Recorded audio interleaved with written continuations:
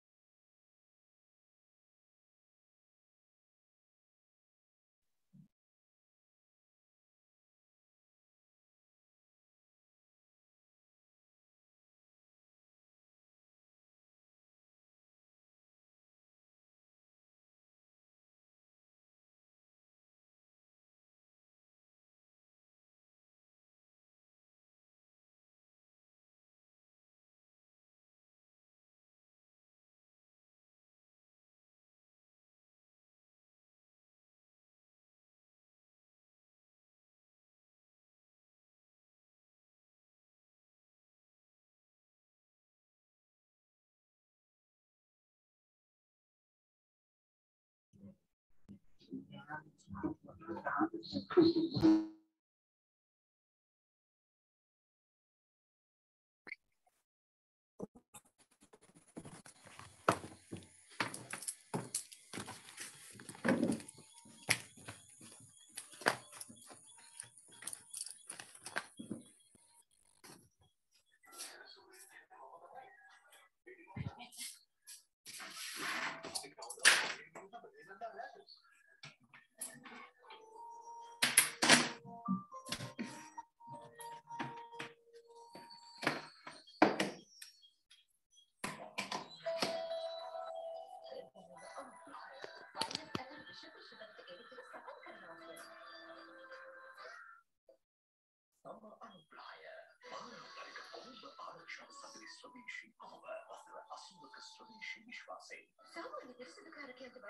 कर लेना सॉल्व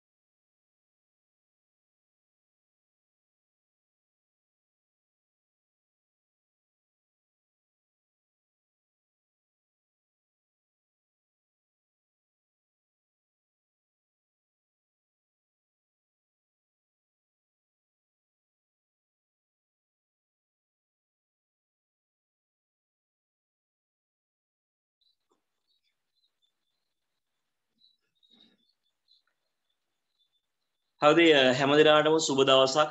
අයිබෝවන් හැමදිනාටම අද දවසපුතේ අපි පාඩම් පටන්ගමු විනාඩී පහලවක් ළමයි වෙනකම් ටුට්ටක් ඇඩ්ඩෙන් ඇඩ්ඩෙන් ඉන්න සිද්ධ වුණා. ඉතින් හැකි ඉක්මනින් ඇඩ්වෙන උදේම විනාඩි දහයකට කලින් ඔගලන්ට ඇ් එක ඔන් කරනවා. ඒනිසා ටුට්ටක් ඇ් එක විනාඩි දහය කලින් විතරට ඔන් කරන්න පුළුවන්. ඒකයි දහයකට කලින් ඔන් කරන්න තිනිසා ටුට්ටක් කොලින් ඇඩ්ඩෙන පොළ හොඳයි. රයිට් හැම දෙනාමුන්තේ අපි තුන්වෙනි දවසාද අපි අද තුන්වෙනි දවස ඔගොල්ලොත් එක සම්බන්ධ වෙන. අදවසේ අපි උතේ සිතියම් පාඩමී කොටසකුත් මානුෂ භූගල ඉදියාව සහ භෞතික භූගල ඉදියාව හැඳින්වීම කොටසකුත් ඔගුලත් එක සාකච්ඡා කරනවා.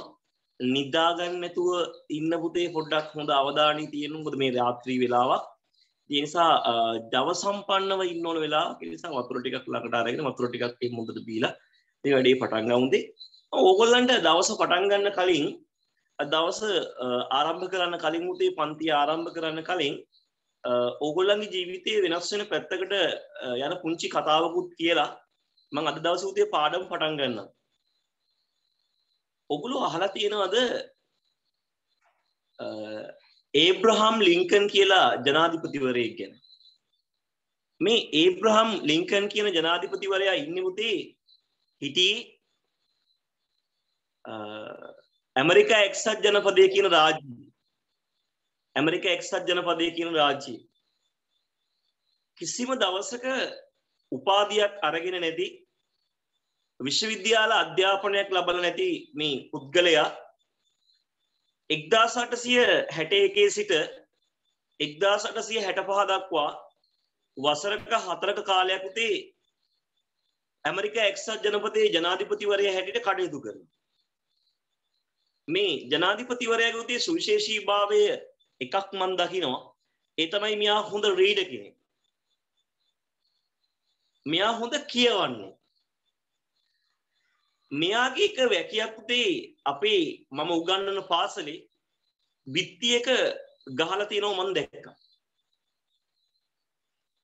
එතන උතේ තියෙනවා මෙන්න මෙහෙම දෙයක්. මගේ දරුවාට ඔබට හැකි හැම දෙයක්ම උගන්න. ඔබට පුළුවන් හැමදේම උගන්න. කියලා උදේ එතන සෑහෙන්න අදහස් කීපයක් තියෙනවා. එතකොට ඒ අදහස් කීපය අපි බැලු හාමුදේ අපිට පේන තියෙන දේ තමයි එක පැත්තකින් තමන්ගේ දරුවව හදාගන්න මේ ජනාධිපතිවරයා උපදෙස් දෙනවා තමන්ගේ ගුරුතුමියට තමන්ගේ ළමයගේ ගුරුතුමියට ඒ හදාගන්නේ. ඒ වගේ මුදේ අනි පැත්තෙන් ගත්තහම මේ ජනාධිපතිවරය මං වඩ කලින් කිව්ව හොඳ රීඩ කෙනෙක් කියලා. මෙයා මුතේ කවදාකත් විශ්වවිද්‍යාලය ගිහිපු නැති කෙනෙක් උදේ ඉඳලා හවස් වෙනකන් සමහර ගල උතේ පොතක් කොයින් හරි හොයාගෙන කියවපු කෙනෙක් මගේත් පුතේ උසස් පෙළ වලට උසස් පෙළ පන්ති වලට ආවට පස්සේ ජීවිතේ වෙනස් වෙන්න පටන් ගත්ත හොඳම සංසිද්ධිය තමයි කියවීම. ඒබ්‍රහම් ලින්කන් තමන්ගේ දරුවටත් කියලා දෙන්නේ ඒ ටිකම තමයි පුතේ. ඒබ්‍රහම් ලින්කන් තමන්ගේ දරුවටත් කියන්නේ පුළුවන් තරම් කියවන්න කියන එක.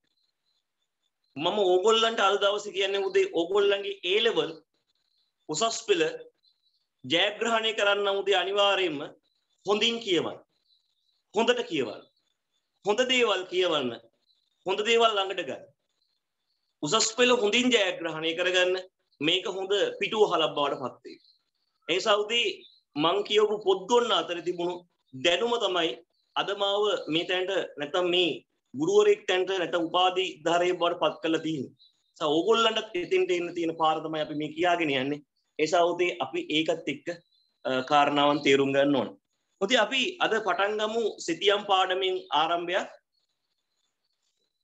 සිතියම් පාඩම අපි ගත්තොත් හෙමුති සිතියම් පාඩම අපි සිතියම් ඉතිහාසය කියන කාරණාව සාකච්ඡා කරලා තින මේනකොට බොහෝ කාරණා දක්වා මේක යුති අපි කලෝඩියස් ටොලමි පිළිබඳව ග්‍රීකය හිටපු කලෝඩියස් ටොලමි පිළිබඳව ඒවගේ මුදේ මම ගිය සති වීඩියෝ කෝගොල්ලන්න දාලා තින නැවත බලන්න ඕන්න ඒක ලිංකික මං එවල තියෙනවා. ඉතින් ගිහිල බලන්න පුළුවන් ඒක නැවත වතාව. ඒ වගේ මුතේ අපි අද දවසේ පටන් ගන්නවා TNO කියන සිතියමේ TNO සිතියම. මේ TNO සිතියම ගැන කියන උතේ ඕගොල්ලන් මම සමහර කාරණා කිය. හැබැයි හොඳ විචක්ෂණශීලීව අහගෙන ඉන්න කියන කාරණාවත් ආරම්භයේදී මතක් කිරීමක් කරනවා. මධ්‍යතන යුගය කියලා එකක් තිබුණාද මොකක්ද මධ්‍යතන යුගය කියලා කියන්නේ? මම ඕගොල්ලන්ට ගිය සතියේ මධ්‍යතන යුගය කියලා දුන්නා. මධ්‍යතන යුගය. මොකක්ද උදේ මධ්‍යතන යුගය කියලා කියන්නේ? මධ්‍යතන යුගය කියලා කියන්නේ ක්‍රිස්තු වර්ෂ 5 වන සියවසේ සිට 15 වන දක්වා කාලය ක්‍රිස්තු වර්ෂ 5 වන සියවසේ සිට 15 වන සියවස දක්වා කාලය තමයි මධ්‍යතන යුගය කියලා කියන්නේ මේ මධ්‍යතන අවධියේදී මේ මධ්‍යතන අවධියේදී උදා අපිට දකින්න හම්බෙන කාරණාවක් තමයි මධ්‍යතන අවධිය තුල විද්‍යාව දියුණු නැහැ. මධ්‍යතන අවධිය තුල විද්‍යාව දියුණු නැහැ. මධ්‍යතන අවධිය තුල විද්‍යාව විතරක් නෙමෙයි උතේ. මිනිසුන්ගේ චින්තනමේ හැකියාව පවා මොට කරලා තිබුණේ. ඒ නිසා අපි මේ මේ අවධිය කියන උතේ වැඩවසම් අවධිය කියලා. වැඩවසම්. වැඩවසම් යුගයක්. මේ වැඩවසම් යුගය තුල ධනෙ තියෙන කෙනෙක් පෝසත් වෙනවා. ඒ පෝසත් වෙලා ඉන්න කෙනා උතේ අර දුප්පත් මිනිස්යාව තලාපෙලා දාන ආර්ථික ක්‍රමයක් තමයි නිර්මාණය කරගෙන තිබුණේ.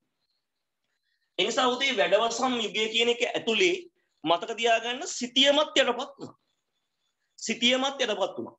ඒ නිසා උදේ රාජ්‍ය නායකයන්ගේ ඇතම් ආගමික ආගමික නායකයන්ගේ මතවාද පවවතේ මේ සිතියම් වලට අන්තර්ගත කරන්න කටයුතු කර මේකෙදී කිසිම විදිරවතී කිසිම ආගමක සඳහන් වෙන්නේ ග්‍රන්ථයකට. අපි සුද්දූ බයිබලය කියන ග්‍රන්ථය සඳහන් වෙන්නේ කිසිම අවස්ථාවකපුතේ මේ මේ අපි කියන කාරණාව හැද එනිසා කිසිම දරුවේ කතෝලික දරුවේ පන්තිය සහභාගි වෙනවා හිත රිද්ද ගන්න නැතුව හොඳට විචක්ෂණශීලීව අහගෙන ඉන්න මම මොකද්ද කියන්නේ කියලා. මොකද උදේ මේ සමහර කාරණාවන් ගැන කියනකොට ඒගොල්ලන්ට හිතේවි යම් යම් දේවල් මේ අපි ගැනද කියන්නේ නැත්නම් මේ බයිබලය ගැනද කියන්නේ කියලා මම බයිබලය ගැන නෙමෙයි කියන්නේ. මේ කියන උදේ අතීතේ මේ යුගී වෙච්ච දෙයක් ගැන මම මේ කියාගෙන යන්නේ මේ යුගයේ වෙච්ච සිදුවීමක් මේ යුගයේ වෙච්ච සිදුවීමට ඒ ජේසුස් වහන්සේවත් ඒ ආගමේ ආගමික නායකයෙක්වත් පලි නැහැ නමුත් ඒ කාලේ උතේ අන්තවාදී ක්‍රියාදාමයක් සිද්ධ වුණා ආගම පාවිච්චි කරලා ඒ ආගම පාවිච්චි කරලා වෙච්ච අන්තවාදී ක්‍රියාදාමයේ පිළිබඳ පුංචි පැහැදිලි කිරීමකුත් එක්ක තමයි උදේ මේ සටහන මං කියන්නේ. හොඳට සටහන කියන්න අහගෙන ඉන්න.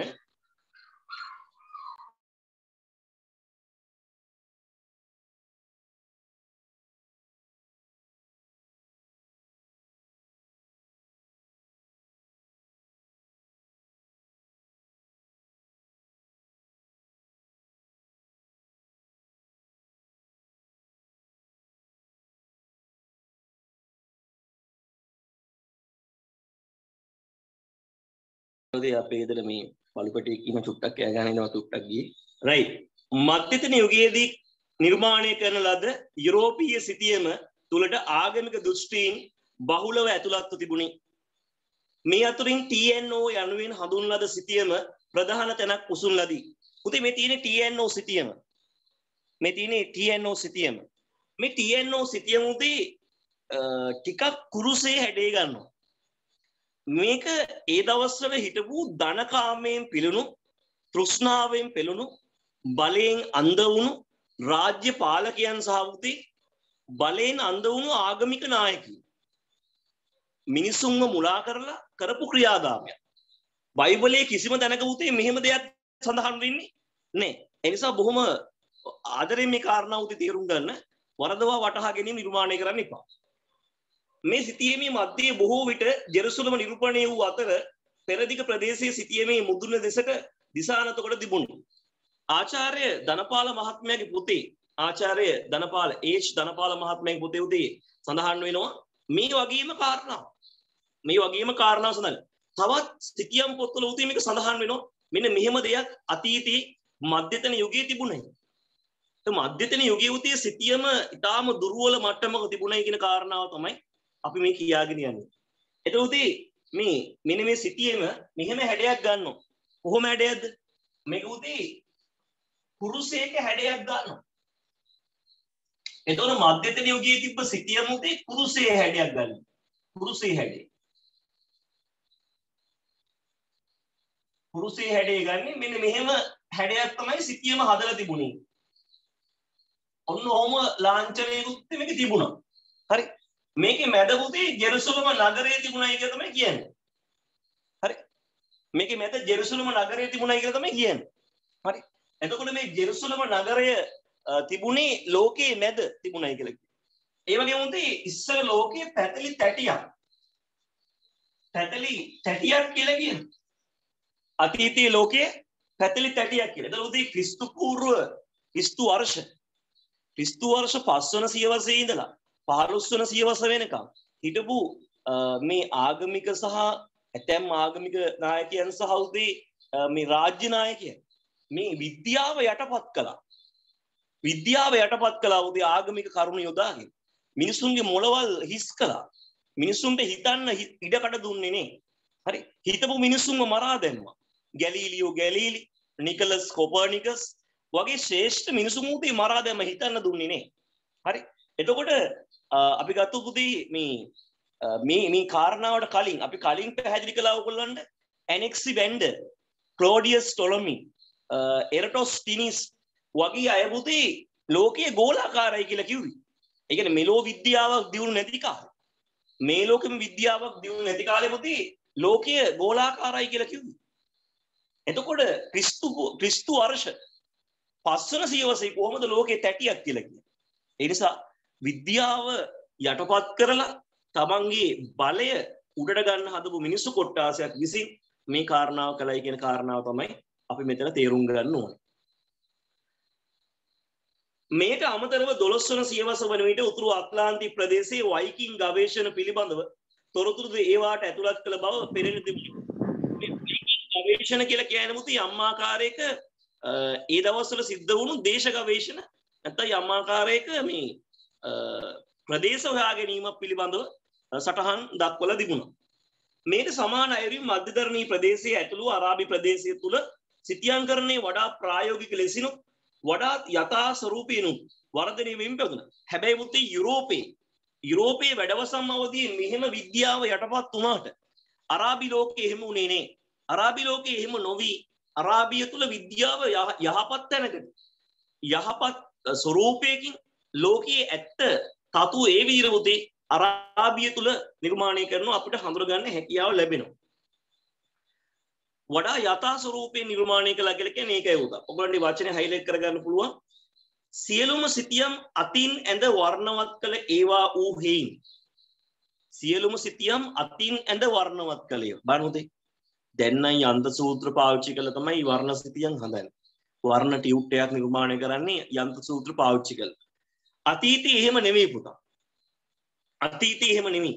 අතීතයේදී අතින් තමයි වර්ණ සිතියම් නිර්මාණය කළේ එසා ඕගොල්ලෝ තේරුම් ගන්න ඕන සිතියම් නිර්මාණය කිරීම අමාරු කාරණාවක්. සිතිය නිර්මාණය කිරීම ලේසි නෑ. ඇයි ගණන් තියෙන හින්දා. විද්‍යාත්මක හින්දා. නෑ පුතා. අතින් අඳින්න ගියාම සෑහෙන්න වෙලාවක් යන නිසා. අතින් අඳින්න ගියාම සෑහෙන්න වෙලාවක් ගත වෙන නිසා. 15 වන සියවසේ සිදු වූ මුද්‍රණ ශිල්පයේ දියුණු 15 වන සියවස කියන්නේ 1500න් පස්සේ කාලේ 15 වන සියවස කියන්නේ 1500න් පස්සේ කාලේ වර්ෂ 1500න් පස්සේ කාලේ මුද්‍රණ කටයුතු යම් ප්‍රමාණයක් දියුණු වුණා. 1700 ගණන්වල දූතී මුද්‍රණ යන්ත්‍රය සොයා ගැනීම සිද්ධ වෙනවා. යොහැන්නස් ගටෙන්බර්ග්. එයාට ලංකාවේ කියන්නේ ගුටෙන්බර්ග් කියලා. ජර්මන් උච්චාරණය ජර්මන් ජාතිකයෙක්. එයාගේ ජර්මන් නම උතේ ගටෙන්බර්ග්. හරි? ස ගටෙන්බර්ග් මිසක් ගුටෙන්බර්ග් කියලා කියන්න එපා. ඒක අර මේ සමහරක් වෙලාවට ධර්මසීන ධර්මසීන කියන එක ඉංග්‍රීසි ජාතිකව ධර්මසීන ධර්මසීන කියන වගේ තමයි ඒක අර උච්චාරණය හරියට එන්න ඕන උකා. ඉතින් ජොහැන්නස් ගටෙන්බර්ග් වගේ අය මුද්‍රණ යන්ත්‍රය සොයා ගැනීමත් සුවිශේෂී අවස්ථාවක් විදිහට අපිට හඳුනගන්න හැකියාව ලැබෙනවා. ඒ වගේ මුදී අපි ගත්තාම මෙන්න මෙහෙම කාරණා කීපයකුත් මෙතෙන්ට එකතු කරගන්න ඕනේ. මේ වකවානුවේදී සිතියම් නිර්මාණකරුවනට වඩා ප්‍රසිද්ධ වූයේ සෙබස්ටියන් මොන්ස්ටර් කියන එක කියලා. සෙබස්ටියන් මුන්ස්ටර් කියන එක කියලා තමයි උදේ වඩා ප්‍රසිද්ධ වුණේ. සෙබෙස්තියන් මුන්ස්ටර් කියන කෙනා ඒ කාලේ ටිකක් සිතියන් සම්බන්ධයෙන් දක්ෂ පුද්ගලෙක් මේ සෙබස්තියන් කියන පුද්ගලයා සිතියම් නිර්මාණය කිරීම සම්බන්ධයෙන් වැඩි ප්‍රසිද්ධියක් ඉසුලෝ වගේම විවිධ සිතියම් නිර්මාණ කරණය නියලනවා ඔහු විසින් එක්දස් පන්සිය හතලේදී ප්‍රකාශයට පත් කළ ජියග්‍රොෆික් වනාහි එවකට පැවති සිතියම් අතරින් මටුවෙන් පිළිගත් නිර්මාණය ජියග්‍රොෆික් කලවතේ සිතියබන් නිර්මාණය කළා ජියග්‍රොෆික් කල නිර්මාණය කරව සිතියම ඉතාම වටිනා සිතියමක් විදියටයි හඳුනාගෙන දී. දාසය වන සියවසේදී ඡායාරූප කරණය ආරම්භය සහ මුද්‍ර ශිල්පය එකනති දාසය වන සියවස කෙළගෝන් සාමාන්‍ය එක්දස් හස් එක්දා සයිසීය හයසීයට පසුව එක්දා සයිසීම් පස්සේ කාලේ අපි ගන්න වෙන්නේ. එක්දා සයිසීයෙන් පසු කාලයේදී යමාකවතේ ඡායාරූප කරණය දියුණුවීමත් මේ සිතියම දියුණුවෙනි අම්මාකාරක බලපෑව ඡායාරූපයක් අරගෙන උඩුගුවන ඉඳලා අපිට උඩුගුණ උඩුගුවන ඉඳලා ගන්න ඡායාරූපත් එක උතේ සිතියමක් නිර්මාණය කරන්න පුළුවන්. උඩුගුවන ඉඳලා ගන්නවා ගුවන් ඡායාරූප. ගුවන් ඡායාරූපයක් අරගෙන අපිට අපේ ඉන්න ප්‍රදේශයේ සිතියම් ගත කරන්න පුළුවන්. එතකොට ඡායාරූපකරණය කියන එක සිතියම් දියුණු වෙන බලපෑව හරිද ඒ වගේම විශේෂයෙන්ම 15 වන හා 16 වන සියවස්වලදී සිදු යුරෝපීය මුහුදු ගවේෂණ හේතුවෙන් සිතියම් කරණයේ වැදගත්කම හා උවමනාව ඉහළ ගියේ. උතේ මේ දේශ ගවේෂණ ව්‍යාපාරය පටන් ගත්තා 1543 විතර. ඔගොල්ලෝ අහලා ඉතින් බාර්තොලොමියෝ ඩයස් කියන එක්කෙනා 1543 දී එනවා උතේ සුබ පැත්මේ තුඩුවට. එහෙම ආවයි කියලා සඳහන්. වස්කෝද ගාම 1498 දී ආවයි කියලා සඳහන් වෙනවා උතේ කැලිකට් වරායට. ඉන්දියාවේ කැලිකට් වරායට ආවයි කියලා සඳහන් වෙනවා. එතකොට ෆර්ඩිනන් මැගල නාවිකයන් 263 දෙනෙක් එක්ක යාත්‍රා පහක ස්පාඤ්ඤයේ මැඩ්‍රිඩ් වරායෙන් පිටත් වෙලා ෆර්ඩිනන් නැත්නම් මේ මැගලන් සමුද්‍ර සංධිය හරහා පිලිපීනයට ඇවිල්ලා නැවත ස්පාඤ්ඤයට මැගලන්ට එන්න බැරි වුණත් ඔහුගේ නාවික කණ්ඩායම ලෝකෙ වටා ගවේෂණය කළා නැවත ස්පාඤ්ඤයට ගමන් කළයි කියලා පුතේ සඳහන් වෙනවා. නිසා දේශ ගවේෂණ ව්‍යාපාරය කියන එකත් පුතේ ලෝක සිතියම දියුණු වෙන්න බලපෑවා. සිතියම් විද්‍යාව විද්‍යාත්මක වෙන්න බලපෑවා. ඔගොල්ලෝ තේරුම් ගත යුතු හොඳම කාරණාව තමයි උතේ ලෝකයේ තැටියක් කියලා කියනකොට ලෝකයේ තැටියක් කියලා යුරෝපයේ කියනකොට යුරෝපයේම වැසියෝ ඇත්ත හොයනවා යුරෝපයේම මිනිස්සු ඇත්ත හොයනවා ඒ අනුව උතේ ස්පාඤ්ඤයෙන් නැවුනැග්ග මැගලන්ගේ කණ්ඩායමට හැකියාව ලැබෙනවා මේක තැටියක් නෙවෙයි මේක ගෝලයක් කියලා ඔප්පු කරලා පෙන්න හැබැයි මට ප්‍රශ්නෙකුත් මැගලන් ගමන් කළේ තැටියක් උඩ කියලාම ඔප්පු කරලා පෙන්වන්න පුළුවන් පුතේ.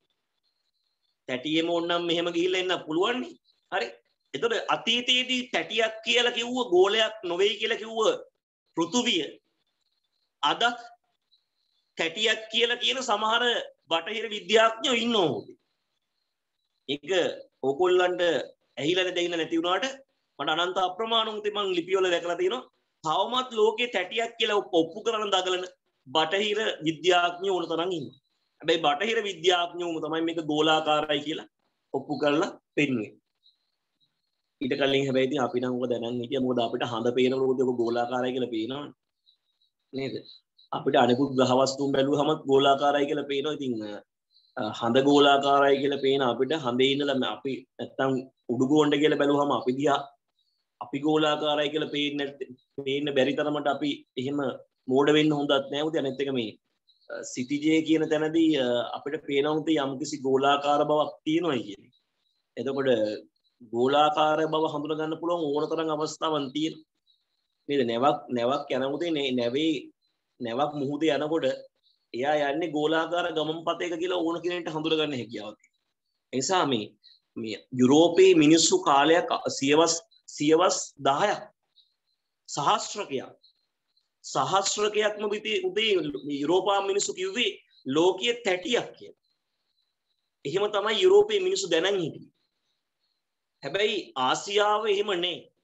ආසියාව එහෙමුතේ මිත්‍යා මතවලට ගිහිල්ල එහෙම එල්බගෙන හිටියනේ ආසියාව තුළ එහෙම විද්‍යාත්මක පුනරුදයක් ඇතිවෙන්න හේතුවක් නොවනේ මේක. මුද අපිට ගැටලු තිබුණේ. හරි? එදරූති වෙන මෙහෙමත් කියනවා. ගවේශණ හේතුවෙන් සිතියම් කරණය වැදගත්කම උමනාව ඉලගිය මේසා නාවික ගමනාගමනයට අවශ්‍යතා තොරතුරු තොරතුරු වන වෙරළමායින් දූපත් ගංගා වරා යනාදිය සිතියම් වලට ඇතුළත් කිරීමට උත්සාහ ගන්න ලැබීය. මේ කාලයේදී මාලිමා යන්ත්‍රය හයිලයිට් කරගන මාලිමා යන්ත්‍රය සිතියම් ප්‍රක්ෂේපණය සහ ලෝක ගෝලය භාවිතය දියුණු හෙයින් සිතියම් සිතියම් කරණී විශාල පරිවර්තනයක් සිදුවවා පමණක් නොව බටහිර රටවල ආර්ථික හා යුද්ධ සහ විදේශීය සම්බන්ධතා වර්ධනය ඒ මහත් රුකුලක් විය. උතේ දේශ ගවේෂණය කියන ව්‍යාපාරයට අමතරව මෙතරදී මේ මාලිමා යන්ත්‍රය කියන උපකරණය සොයා ගැනීම. ඒ උපකරණය භාවිතා කළ උදේ උතුරු දිසාව සොයා ගැනීම හරහා තමන්ට නැවත තමන්ගේ ගමනාන්තයට එන්න හැකියාව ලැබුණා. මොකද ඉස්සර උදේ GPS තිබුණේ නෑනේ. දැන් GPS තියෙන. ඒ නිසා උදේ අර ගමනාන්තයටම එන්න ගියොත් ගිය තැනකින් ආයි ගමනාන්තරයට එන්න පුළුවන් පාරවල් ඉස්සර තිබුණේ. මේ තරම් අද හොඳ අධිවේගී මාර්ග තිබුණේ. ගුවන් මාර්ග තිබුණේ නෑ පුතා. නාවික ගමනාගමනයේ නොදිවුණු කාලයක්. නැව් ගියාට නැව් කැඩෙනවා ෂුවර් නෑ නැවත ගිහිලා ආයි ගමන ආයි නැවත එයි කියලා. ලෝකය ගැන දැනන් හිටිය ලෝකෙ සත්තු ගැන දැනන් හිටියේ නෑ උන්ට. ලෝකේ විසකුරු සත්තු ඉන්නවා ඔය විදාකාර ඔය ඇමසන් වනාන්තර ඉන්න විසකුරු සත්තු වර්ග ඉන්නවයි කියලා එම දැනන් හිටියේනේ. එම නොදන් නොදන් නොදැනගෙන ඉන්න කාලයක තමයි උතේ මේ ගවේෂණ සිද්ධ වුණේ මේ සොයා ගැනීම සිද්ධ වුණේ. නිසා මාලිමා යන්ත්‍රය සොයා ගැනීම ප්‍රක්ෂේපණ ක්‍රමය. ඒ කියන්නේ උතේ ඕගොල්ලෝ කඩේට ගිහලා ගන්නවනේ සිටියම. ඕගොල්ලෝ කඩේට ගිහලා ගන්න සිටියම තියෙන උතේ ඒක ප්‍රක්ෂේපණය. මම ඕගොල්ලන්ට පෙන්නන්නම්. ඕගොල්ලෝ පාවිච්චි කරන සිටියම් පොතක් ඇසුරින් පාවිච්චි කරන ප්‍රක්ෂේපණය.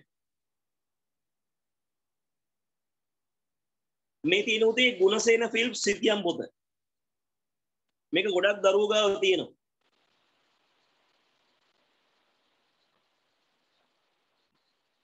මේ සිතියම් පොතේ උතේ මෙන්න මේ සිතියම. මේ සිතියම හදලා තියෙන්නේ මේක ගහලා තියෙනවා නම නිකන් ඇහුවාම ඉනායරි දන්නේ ලැම්බර්ඩ්ගේ දිගාංශ ප්‍රක්ෂේපණය. මේ ගහලා තියෙන්නේ ලැම්බර්ඩ්ගේ දිගාංශ ප්‍රක්ෂේපණය. මේක ලැම්බර්ඩ් කියන සිතියම් විද්‍යාඥය හදු ප්‍රක්ෂේපණය. ඊළඟට මෙතන තියෙන උතේ තව ප්‍රක්ෂේපණයක නමක් ගහලා. මේ මෙතන කෙලවරේ ගහලා තියෙන්නේ මේක බොන්ගේ ප්‍රක්ෂේපණය. බොන් කියන පුද්ගලයා හදලා තියෙන්නේ. මෙන්න මේ මෙන්න මේ සිටිය මේක හදලා තියෙන්නේ බොන්ගේ ප්‍රක්ෂේපණය. ඔයගොල්ලෝ බලන රටවල හැඩේ එකිනෙකට වෙනස් වෙනවා. මේ බලන්න මේ සිටියම දැන් කඩෙන් ගන්න ලෝක සිටියම වගේද මේ සිටියම? මේ හැඩේ වෙනස් පුතේ. මේ අක්ෂාංශ දේශාංශ වෙනස්. මේ ප්‍රක්ෂේපණය හදලා තිබුණේ හැමගේ සමක්ෂේෂ. හැමගේ සමක්ෂේෂ කියන ප්‍රක්ෂේපණේ හදලා තියෙන්නේ. අක්ෂාංශ දේශාංශ වල හැඩය වෙනස් වෙනකොට අක්ෂාංශ දේශාංශ හැඩය වෙනස් වෙනකොට රටවල හැඩය වෙනස් වෙනවා. අක්ෂාංශ දේශාංශ වල හැඩය වෙනස් වෙනකොට රටවල හැඩය වෙනස් වෙනවා. ඕගොල්ලෝ බලන්න ග්‍රීන්ලන්තය කියන දූපත ඕස්ට්‍රේලියාව කියන මහද්වීපේ ඒ දූපතයි මහද්වීපේ අරගෙන බලන්න උදේ. ඒ දූපතයි මහද්වීපය ගත්තාම ඒ දූපතයි මහද්වීපේ මුති සිතියමෙන් සිතියමට වෙනස් හැඩේ වෙනස් ඇයි ප්‍රක්ෂේපණය වෙනස් වෙන නිසා අඳින සිතියමේ අක්ෂාංශ දේශාංශ සහිත ප්‍රක්ෂේපණය අලුත් වන නිසා එසවතේ ප්‍රක්ෂේපණ සාමාන්‍යයෙන් දැන් ලෝකේ හදලා තියෙනවා 26ක් 27ක් විතර. ඒතර ප්‍රක්ෂේපණය කියලා කියන්නේ ලෝක සිතියමක් හදන ආකෘතියක්. ලෝක සිතියමක් හදන ආකෘතියක්. දැන් මුතේ ඔය විසක් කාලේට හදන්නේ මේ විසක් කූඩු. එක එක විසක් කූඩු හදන්නේ.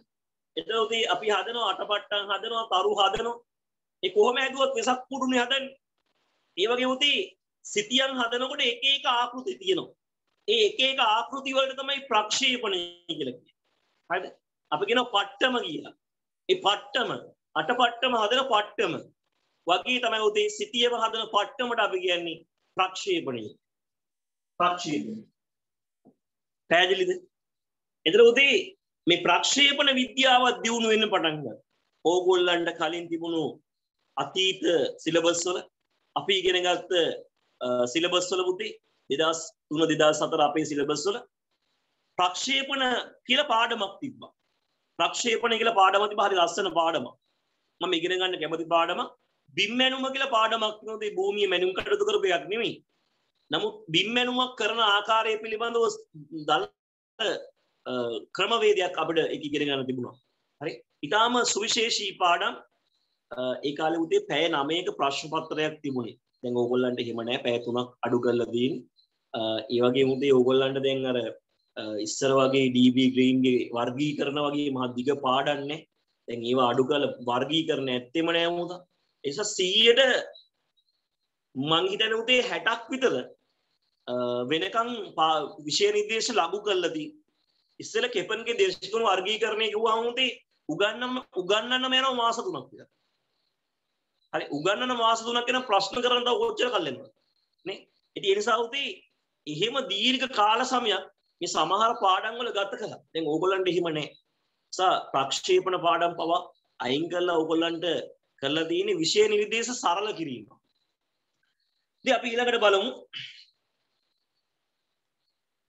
ප්‍රක්ෂේපණ විද්‍යාව දියුණු වීම දකින්න හම්බ වෙනවා. ඒ වගේම සිතියම් කරණේ විශාල පරිවර්තනය සිදු වූ පමණක් නොව බටහිර රටවල ආර්ථික හා යුද්ධ විදේශ සම්බන්ධතා වර්ධනයේ ඒ මහත් රුකුලක් විය. සමස්ත ලෝකයේ පිළිබඳ ප්‍රථමයෙන්ම ලෝක සිතියම නිර්මාණය කරන ලද්දේ 16 වන සියවසේ මුලදී. දැන් ඕගොල්ලන්ට පොඩි ප්‍රශ්නයක් එනවා ගිය සතියේ සර් කිව්වා නේද? ටොලමි තමයි ලෝක සිතියම හැදි පළවෙනි එක හැදි. ඔව් ඒක ප්‍රශ්නයක් නෑ. හරි. හැබැයි මම ඕගොල්ලන්ට කිව්වා ටොලමිට කලින් ලෝක සිතියන් හදපු අය හිටියා. එයාගේ ඒගොල්ලන්ගේ ඒවා එනෙක්සි මැන්ඩර්ගේ ඒ වගේම එරටොස්ටිනිස්ගේ සිතියන් ලෝක සිතියන් තමයි. හැබැයි ඒකේ මුළු ලෝකෙම තිබුණ නැති හින්දා ටොලමික එක ලෝකේ පළවෙනි සිතියම කියලා පිළිගන්නවා. හොඳ ලෝකේ පළමු ලෝක සිතියම කියලා පිළිගන්නවා. ලෝකෙන් භාගයක් යන දෙක උද ලෝකෙ කියන්න බෑ නෙවෙයි. ඒ වගේ තමයි මේ ලෝක සිතියමක් නිර්මාණය කිරීම සම්බන්ධයෙන් උතේ යම් ආකාරයක මේ කරුණු කාරණා සොයාගන්න අවශ්‍ය කරන මූලික පදනම් හැදිච්ච විදිහක් තියෙනවා. එය කොළඹස් විසින් නවලෝකය සොයා ගැනීමෙන් අනතුරුව තමයි සිද්ධ වුණේ. කොළඹස් කියලා කොළඹස් කියලා කොළඹස් කියන පුද්ගලයා නවලෝකය කියලා පොදු ප්‍රදේශයක් හොයාගන්න. මුදේ මේ නවලෝකය කියලා කියන්නේ ඇමරිකා එක්සත් ජනපදය. සෝරි ඇමරිකාවට. උතුරු ඇමරිකාව. එතකොට කවදාකවත් දැක්කේ නැති පළාතක්. කවදාකවත් ලෝකයේ ඇතැයි විශ්වාස නොකළ ප්‍රදේශයක්. යුරෝපා ජාතිකින් හීනින්වත් ඉතුරු නැති ප්‍රදේශයක් ඒගොල්ලෝ හොයා ගන්නවා. ඒකට නව ලෝකය කියලා කියන ඇමරිකන් වෙස්පුටි ඇමරිකාව සොයා ගැනීම සමඟ ඔහුට ගෞරවයක් විදිහට ඒක ඇමරිකාව කියලා නම් කළා කියලා අපි අහලා තියෙනවා. එම සිතියම නිර්මාණය කිරීමේ ගෞරවය හිමි වන්නේ 1968 දී මාටින් වර්ල්සී මුල කියන පුද්ගලයා. උදේ නම හයිලයිට් කරගන්න. 1567 දී 1000 ඕන මම මතක තියාගන්න. 1000 මේක බුද්ධි මතක තියාගන්න මෙහෙම මෙන්න මෙහෙම එන්න. කොහොමද?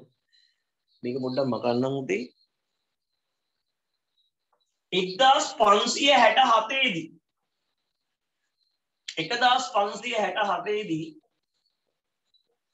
වර්ල් සී මුල කියන මතක ගන්න පොඩක් ඇඟින් පාඩම් ඇඟින් පාඩම් කරනකොට පොඩ්ඩක් ඇඟින් කියලා කියන්නේ හොඳ ජව සම්පන්නව පාඩම් කරන්න. ජව සම්පන්නව පාඩම් කරනකොට මතක ඉන්නවා. පැහැදිලි මං කියන්නේ? ජව සම්පන්නව පාඩම් කර කම්මැලිකමට පාඩම් කරන්නේ. මතක හිටින්නේ. ඉස්සර මම මම ඉගෙන ගන්න කාලේ උදේ මම ඉගෙන ගත්තේ මහරගම මධ්‍ය මහා විද්‍යාලේ. මම අදත් හරි ආදරේ පාසලක් තිබේ. පොඩි කාලේ අපි අහලා තියෙනවා නේද අර ගීතයක් පාසලෙන් අයින් වුණාම සමහරක් අය නිතර අහන ගීතයක්. අප පාසල් ගිය කාලේ නේද? පොත්වල තව ඇත වෙන අය එහි ඇත කාලය බැව් වෙනසකාරුමේ.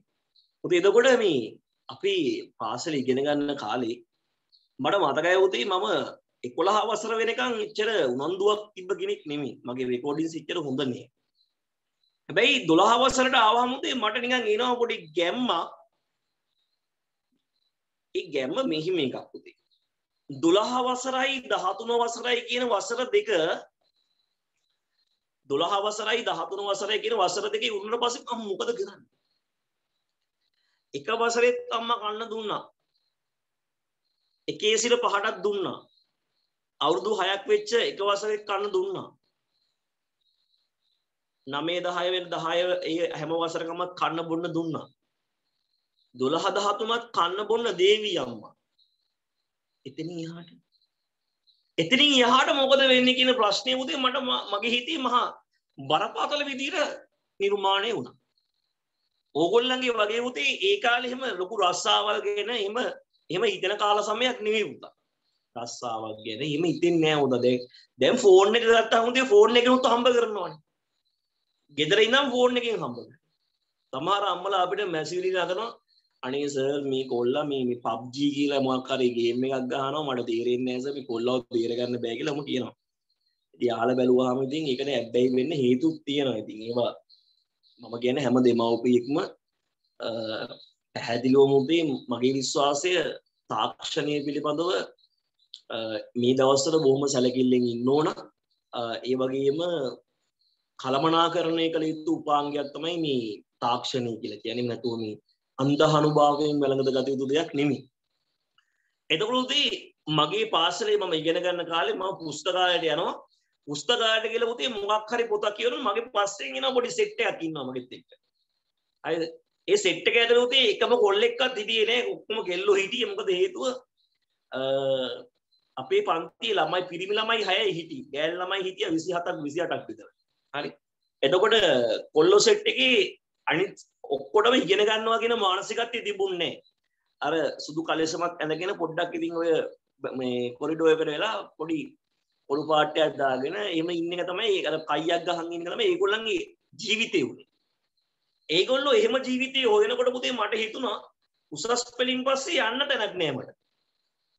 උසස් පෙළින් පස්සේ තාත්තා නිතරම කියනවා රස්සාවක් කරන් හොඳ රස්සාවක්. දැන් මම කල්පනා කරනවා හොඳ රස්සාවල් මොනවද? එතකොට මට මතක් වෙන දේ තමයි මම පොඩි කාලේ හරි ආසයි වුතේ මේ වෛද්‍ය වෘත්තිය කියන එකට. මට මේ සාමාන්‍ය පෙළ කාලේ ඇතිවෙච්ච විද්‍යාව සම්බන්ධයෙන් ඇතිවෙච්ච උදේ පුදුමාකාර මේ පහන් හැඟීම් නිසා මට උසස් පෙළට විද්‍යාව තෝරගන්න හිතුන්ටි. ඒක මං හිතනවා උතේ විද්‍යාවේ අවුලක් නෙමෙයි. ඒක අපිට හම්බෙච්ච සමහර අයගේ මොකක් හරි නැත්නම් අපේ වැරදි අපි එච්චර හිතුවේ නෑ. ඒ හින්දා වෙන්නේ නැති. ඒ කොහොම හරි උතේ විද්‍යාව සම්බන්ධයෙන් තිබිච්ච අවුල නිසා මම තෝරගන්නවා ආර්ට්ස්. ආර්ට්ස් වලදී මට හිතෙනවා උතේ බොහෝ දෙයක් කරන්න පුළුවන්. මට මැච් වෙනවා කියලා උතේ ඇඟට දැනෙන මොකද මේ විෂයන් වලට ආස හිතෙනවා. ඒ විෂයන් වල තියෙන දේවල් නිකන් පොඩක් ආකර්ශනීය දේවල්. ඒ නිසා උතේ මම පාසල් අවදී පළවෙනි මාස කීපය පළවෙනි වාර විභාගයට පෙර සූදානම් උතේ පුස්තකාලේ තමයි වැඩි හරියක් කාලය ගත කරන්නේ පීරියඩ් ටිකට අමතරව. උදේ කෑවට පස්සේ උතේ ආයෙ ගෙදර යනකම් කෑවයි කියලා මතකයක් නැහැ. එක පීරියඩ් එකක් හරි අමුණු පුස්තකාලේ ගිහලා අතිරේක පොතක් අනිවාර්යෙන් කියවනවායි. ඒ පොත ඉවර වෙනකම්ම කියවනවා. ඒ ලෙවල් මගේ විෂයන් තුනට අදාළව තිබ්බ හැම පොතක්ම මම පුස්තකාලේ උදේ කියවලා අවසන් කරා. ඒ නිසා නොසිතූ දැනුමක් වර්ධනය වුණා උතේ විෂයන් තුනයි අපිට තිමුණේ ඔගොල්ලන්ට වගේම ඒ විෂයන් තුනේ මුතේ පළවෙනි වාර විභාගේ තමයි. පළවෙනි වාර විභාගේ ලකුණු 300න් 287ක් ගන්න හැකියාව ලැබුණා. පළවෙනි වාර විභාග. 300න් 287. මට 13ක් නැතිවීම පිළිබඳව තවමත් මුතේ හිතේ දුකක් තියෙනවා. ඇයි මට 13ක් ගන්න බැරි වුණේ? ඒ 13 දුන්නේ නැති සිංහල. ඒ 13 දුන්නේ නැති සිංහල තර්ක ශාස්ත්‍රයට පුතේ ගන්න පුළුවන් උපරිම මාර්කය ගත්තම ඉතින් 10 96ක් හරි 98ක් හරි තිබුණා. ජෝග්‍රෆි වලට 98ක් හරි 99ක් හරි තිබුණා. මට සිංහල වලට තමයි 91ක් හරි 90ක් හරි තිබුණේ. ඒක තමයි අඩු වෙච්ච ලකුණ.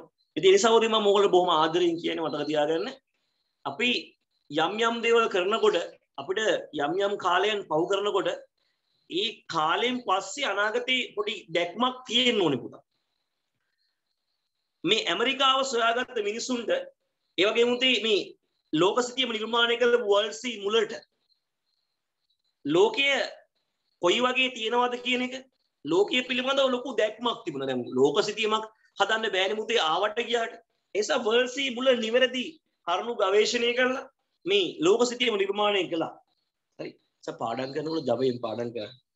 ඒ වගේ මුතේ දාසය වන සිවස මැදභාගේ විසු ප්‍රධානම සිතියන්තරුවා වූයේ බෙල්ජියමේ ජෙරාඩ ස්මර්කේට ජෙරාඩ ස්මර්කේට මෙයාගේ නමුතේ ජෙරාඩ ස්මර්කේට මේ ජෙරාඩස් මර්කේට තමයි ප්‍රක්ෂේපණ විද්‍යාවේ පියා.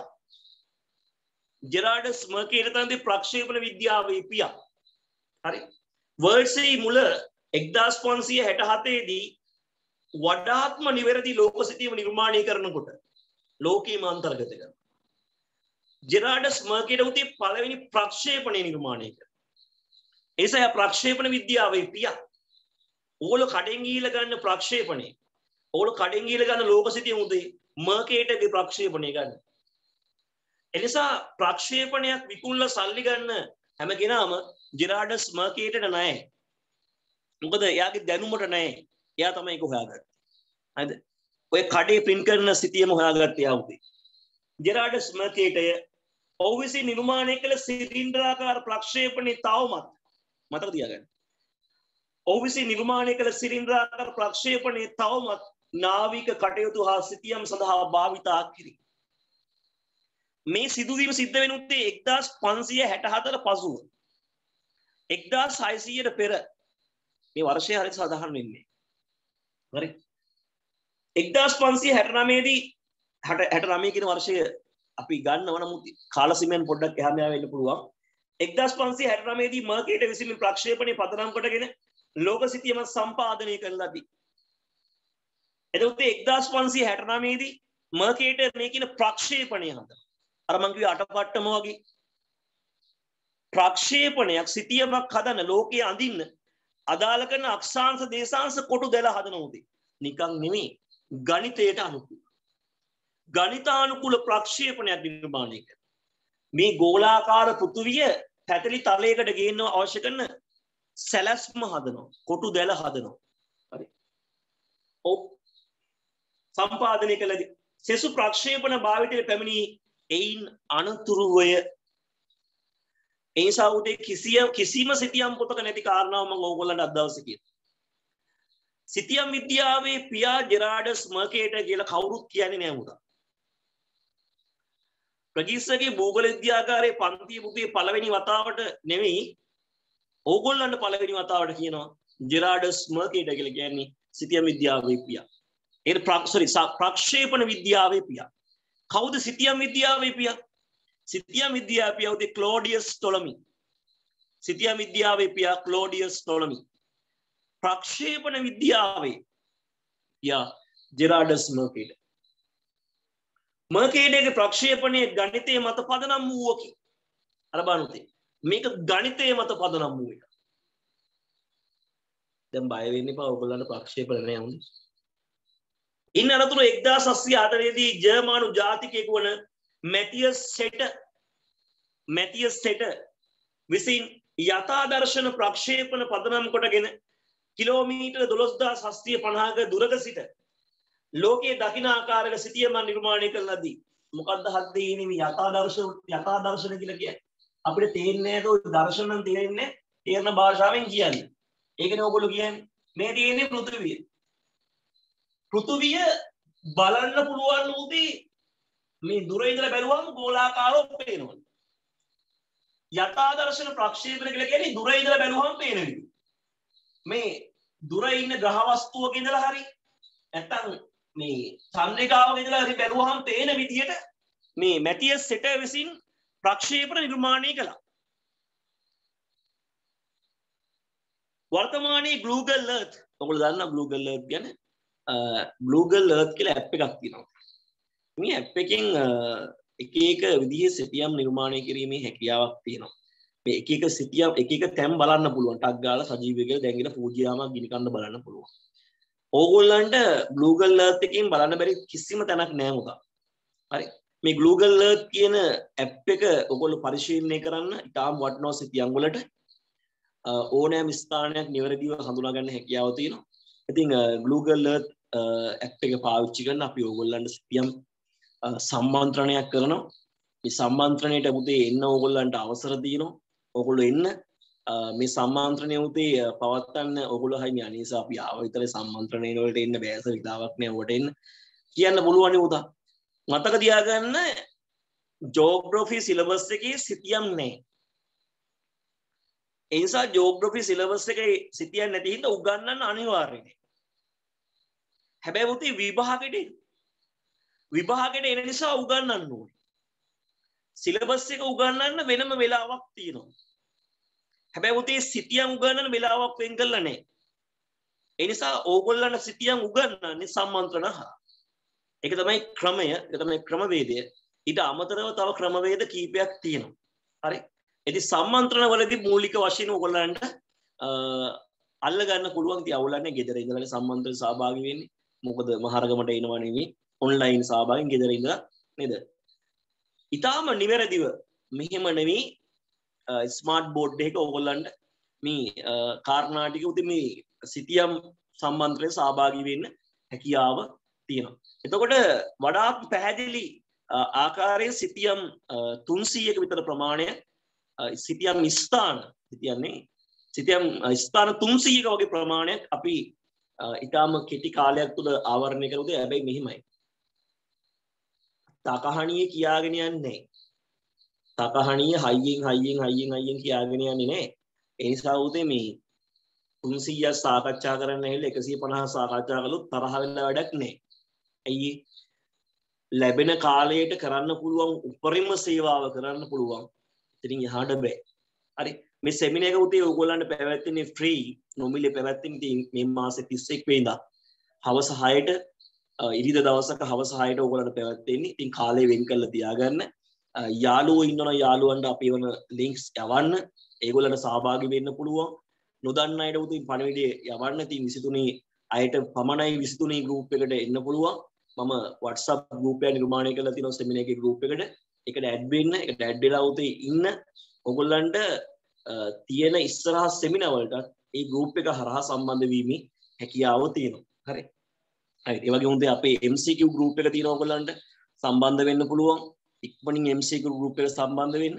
අපි පන්ති පටන් ගන්නවා උදේ ලබන සතිය වෙනකොට. ඉතින් අපි ඒව කල් ඇතුව දැනුම් දීලා තියෙන්නේ. මේ සතිය කරන්න නැතුව ලබන සතිය අපි පටන් ගන්නවා කියලා අපි කිව්වා.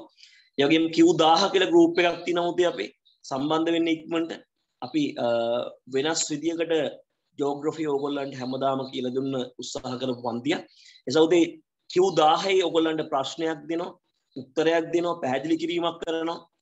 ඒ නිසා උදේ විභාගයට යන්න කලින් බීතිය මග හරින පන්තියක්.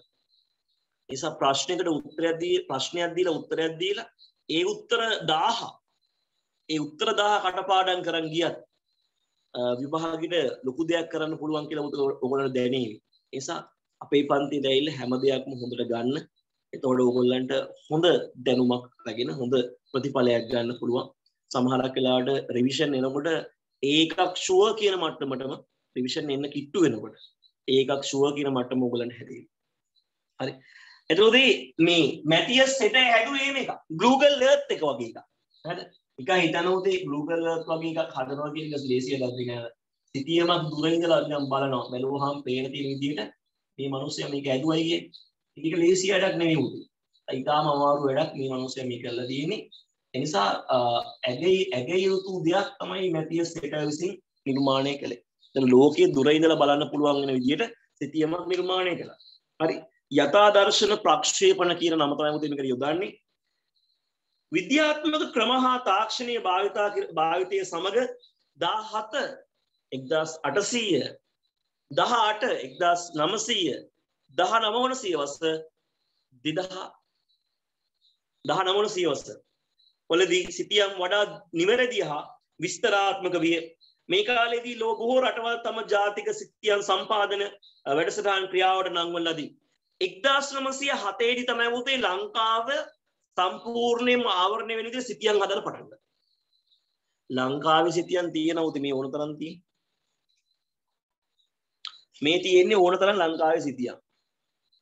මේ තියෙන්නේ ඕත සාම පෙන්වුවේ නැහැ සිටියම. මේ ලංකාවේ සිටිය මේ මේ මේව ලංකාවේ සිටියන් නෙවෙයි බුත මේක ලංකාවේ සිටියම තමයි. මේ මේක බලලා උතේ ලංකාවේ කුරුණෑගල දිස්ත්‍රික්කයේ ගමක හැටි කියන්න බෑනේ. ලංකාවේ කුරුණෑගල දිස්ත්‍රික්කයේ ගමක හැටි කියන්න ඕන නම් ඒ පළාතේ ඇඳපු සිටියමක් තියෙන්නේ මේ තියෙන්නේ පළාතේ ඇඳපු සිටියමක්. මේ තියෙන්නේ පලාතේ යන පුසිතියම මේ බලන්න මේ තියෙන්නේ පලාතේ යන පුසිතියම ඔයදී මේක උතේ කවුඩුල්ල සිටියම. මේ තියෙන කවුඩුල්ල සිටියම. මේ කවුඩුල්ල එකට පනස්දා සිටියම.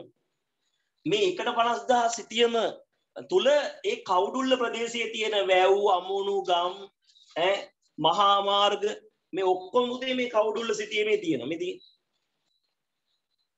ඔය සිතියමේ මේ මහා මාර්ග රතු පාටින් යන්නේ මහා මාර්ග ඇඳලා තියෙන උදේ. ඒ නිසා සිතියම් විද්‍යාවුතේ දියුණුවීමත් එක්ක ඒ ප්‍රදේශවල සිතියම් පව නිර්මාණය. ලංකාවේ සිතියමක් හදන්න පටන් ගත්තේ 1907 මේක හදලා වුණ ඉවරුණුතේ 1924. ලංකාවේ පළවෙනි සිතියම හදන්න පටන් ගත්තේ 1907. අපි මේ අතින් අදිනේවා කඩින් ගන්න මේ ලංකාවේ මේ පොඩි සිතියම නෙමෙයි මොකද මං කියන්නේ? සමස්ත ලංකාවම හරි කඩ පිලක් ගානේ අඳින්න සිතියන් ගත කළා. කඩ පිලක් ගානේ සිතියන් ගත කළා. හරි?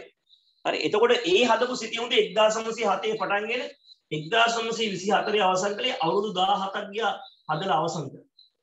හරි? අවුරුදු 17ක් ගියා හදලා අවසන් කළා. එතකොට එහෙම වුණේ අවුරුදු 17ක් ගියේ මොකද? ඉතින් ගුවන් ඡායාරූප තිබුණේ දියුණුනේ ඊළඟට චන්ද්‍රිකා ප්‍රතිබිම්බ තිබුණේ දියුණුනේ.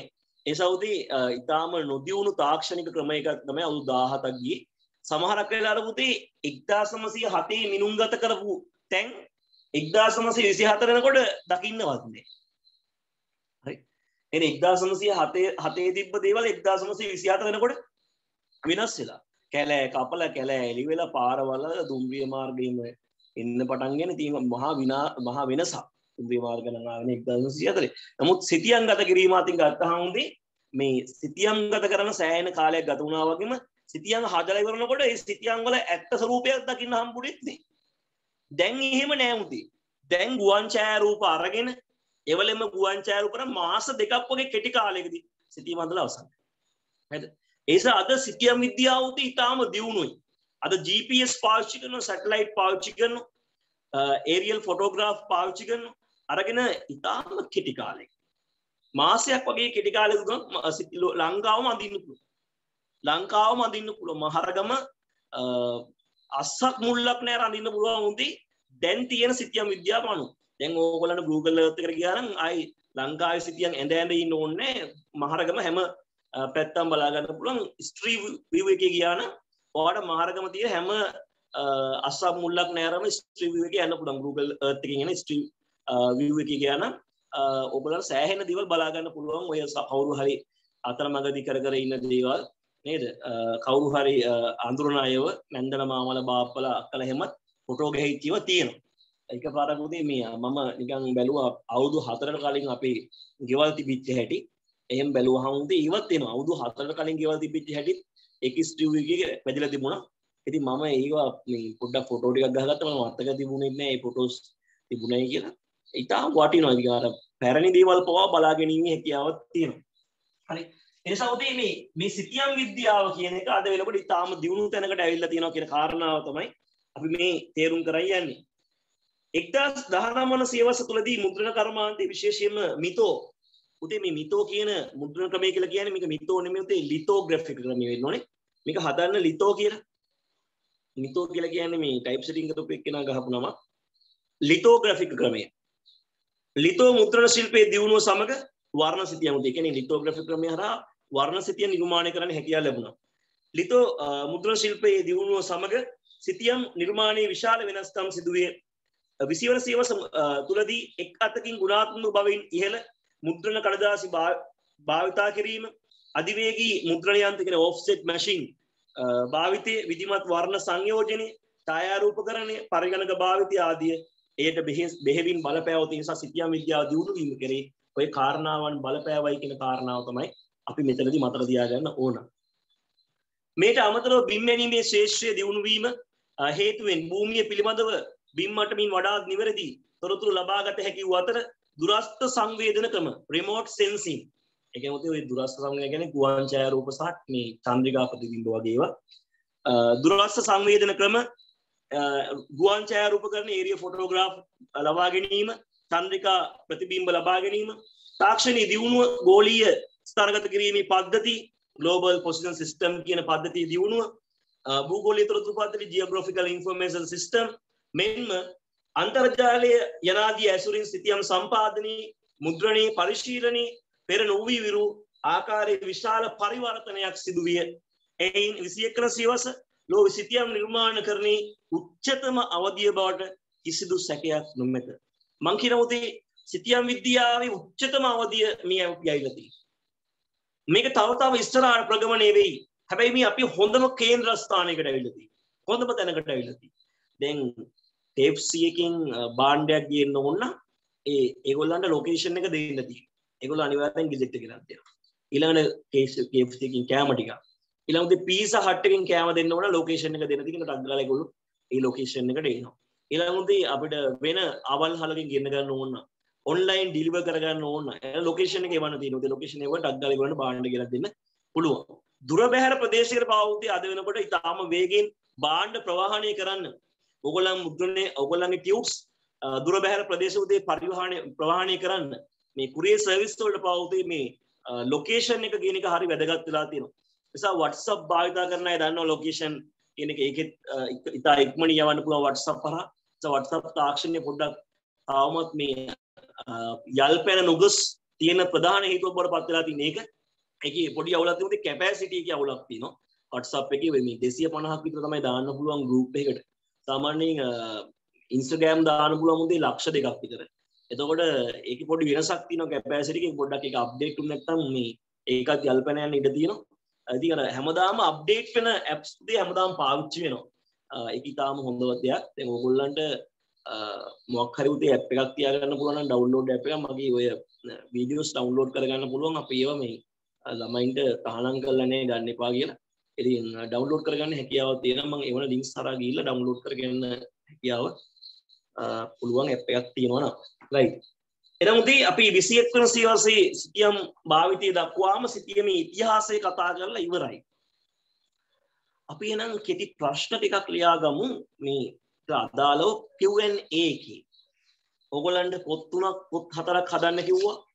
Q&A physical geography, human geography, ඒ වගේම practical geography කියලා උදේ. අපි මේ කතා කරන්නේ practical geography එකේ පාඩමක්. හරි. මේ කතා කරන්නේ practical geography එකේ පාඩමක්. 12 වසරට අදාළ උතේ practical geography එකේ අනිත් පාඩම ওই පොතේ ලියවනවා. ඒසා බය වෙන්න එපා. අපි අනිවාර්යෙන් මොන මොන හරි දේවල් ওই පොත්වල සටහන් ලියනවා. ඒක පොත් අහක යන්නේ නැහැ. එතදී අපි Q&A කියන එකේ මේ ප්‍රශ්න ටික ලියාගමු. පළවෙනි ප්‍රශ්නය අර අපේ Q&A කියන පොතේ ලියාගන්නේ. ලියාගන්න. ලෝකේ ප්‍රථම සිතියම ලෝකයේ ප්‍රථම සිතියම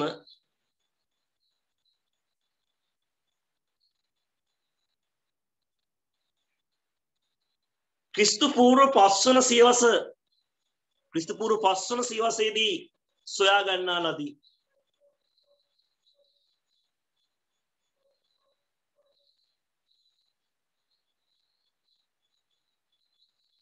පස්වන සියවසේදී සොයා ගන්නා ලදී. සොරකුද ක්‍රිස්තු පූර්ව 2300 දී පමණ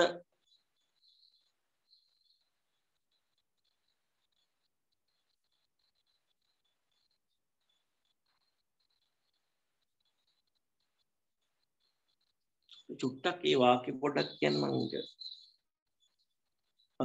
සිහත් පුතේ පොඩ්ඩක් ඒ වාක්‍ය මං කියපේ කියන ලෝකයේ පළමු වන සියවස ක්‍රිස්තු පූර්ව එතන ඉඳන්ස මට ලියා ගන්න බැරි වුණා. ඉතින් චුට්ටක් ඒක හදාගන්න මට ඒක පැටලුණා මේක මං කියන්න ගිය එක. ලෝකයේ පැරණිම සිටියම ලෝකයේ පැරණිම සිටියම ක්‍රිස්තු පූර්ව පස්වන සියවසේදී ක්‍රිස්තු පූර්ව පස්වන සියවසේදී නිර්මාණය වූ අය සැලකේ. ක්‍රිස්තු පූර්ව පස්වන සියවසේදී නිර්මාණය වූ අය සැලකේ.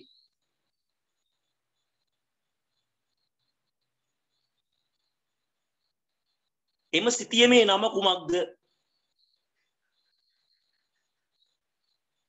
එම සිතියමේ නම කුමක්ද?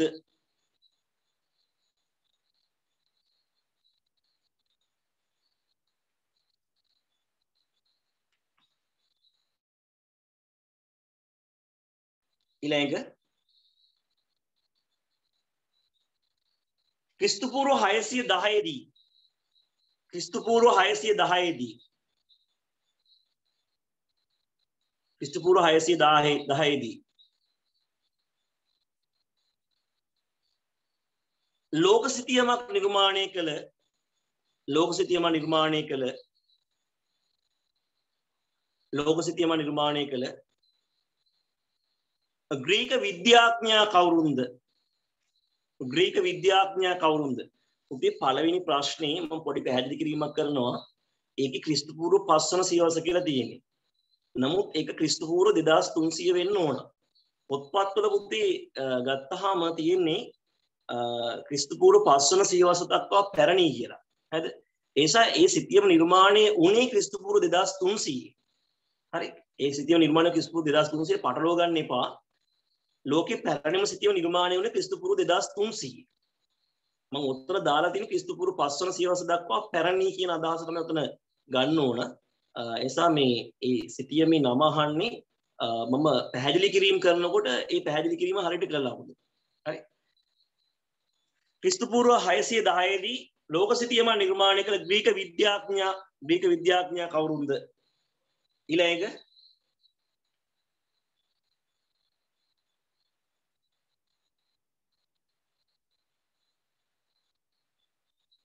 ක්‍රිස්තු පූර්ව තුන්වන සියවසේදී ක්‍රිස්තු පූර්ව තුන්වන සියවසේදී උත්තර ලියන්න උතේ ඉඩකඩ පොඩ්ඩක් තියාගන්න. හොඳට අහන් හිටපුවාට තේරෙනවා කොච්චර රූල් තියාගන්න පුළුවන් ඕනද කියලා. සාමාන්‍ය රූලක් දෙකක් තමයි ඔයාලට යන්නේ. ක්‍රිස්තු පූර්ව තුන්වන සියවසේදී ගණිතය හා සූර්යාගේ නිරීක්ෂණ ඇසුරෙන් ගණිතය හා සූර්යාගේ නිරීක්ෂණ ඇසුරෙන් ගණිතය හා සූර්යාගේ නිරීක්ෂණ ඇසුරෙන් ගණිතය හා සූර්යාගේ නිරීක්ෂණ ඇසුරෙන් ගණිතය හා සූර්යාගේ නිරීක්ෂණ ඇසුරෙන්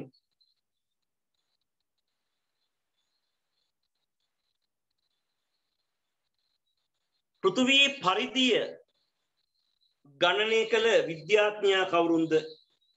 පෘථුවී පරිදිය ගණනය කළ විද්‍යාඥයා කවුරුන්ද?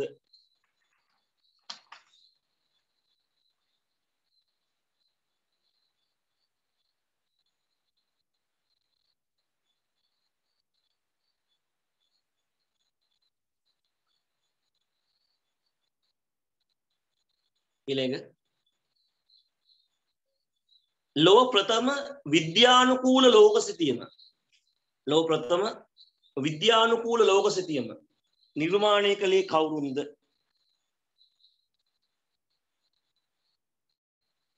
ලෝ ප්‍රථම විද්‍යානුකූල ලෝක සිතියම නිර්මාණය කළේ කවුරුන්ද?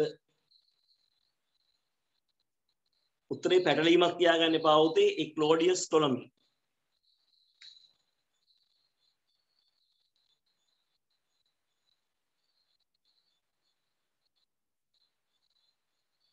ඉලේක මධ්‍යතන යුගයේදී සිටියමේ ස්වභාවය කෙබඳුද? මධ්‍යතන යුගයේදී සිටියමේ ස්වභාවය කෙබඳුද? මධ්‍යතන අවධියේදී සිටියමේ ස්වභාවය කෙබඳුද?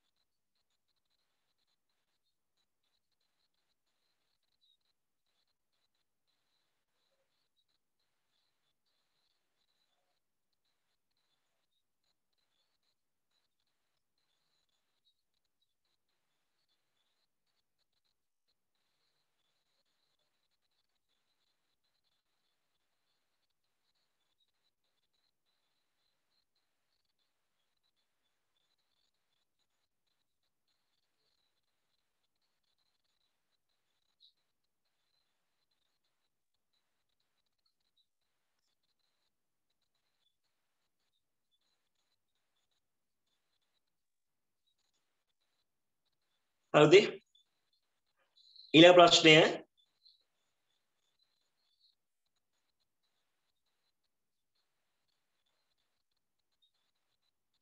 ජියෝග්‍රොෆික් නැමැති සිතීම නිර්මාණය කළේ කවුරුන් විසින්ද? ජියෝග්‍රොෆික් නැමැති සිතීම නිර්මාණය කළේ කවුරුන් විසින්ද? ජියෝග්‍රොෆික් නැමැති සිතීම නිර්මාණය කළේ කවුරුන් විසින්ද?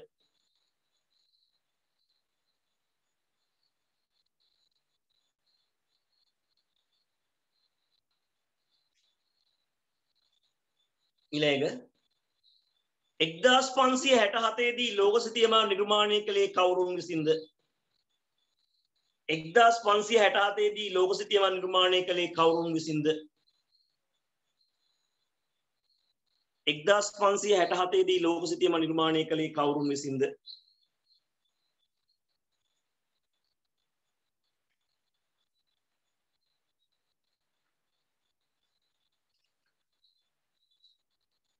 ඊළඟ ප්‍රක්ෂේපණ විද්‍යාවේ පියා කවුරුන්ද? ප්‍රක්ෂේපණ විද්‍යාවේ පියා නම් කරන්න. ප්‍රක්ෂේපණ විද්‍යාවේ පියා නම් කරන්න.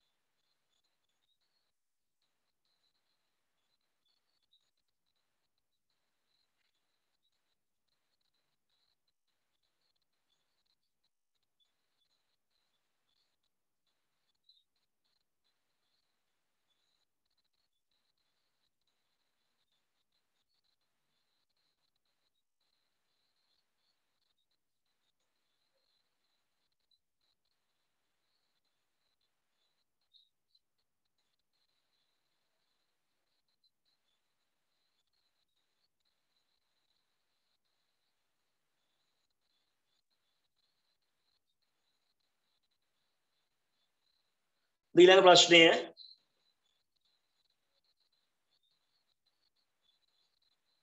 යථාදර්ශන ප්‍රක්ෂේපන නිර්මාණය කළේ කවුරුන් විසින්ද? යථාදර්ශන ප්‍රක්ෂේපන නිර්මාණය කළේ කවුරුන් විසින්ද? යථාදර්ශන ප්‍රක්ෂේපන නිර්මාණය කළේ කවුරුන් විසින්ද?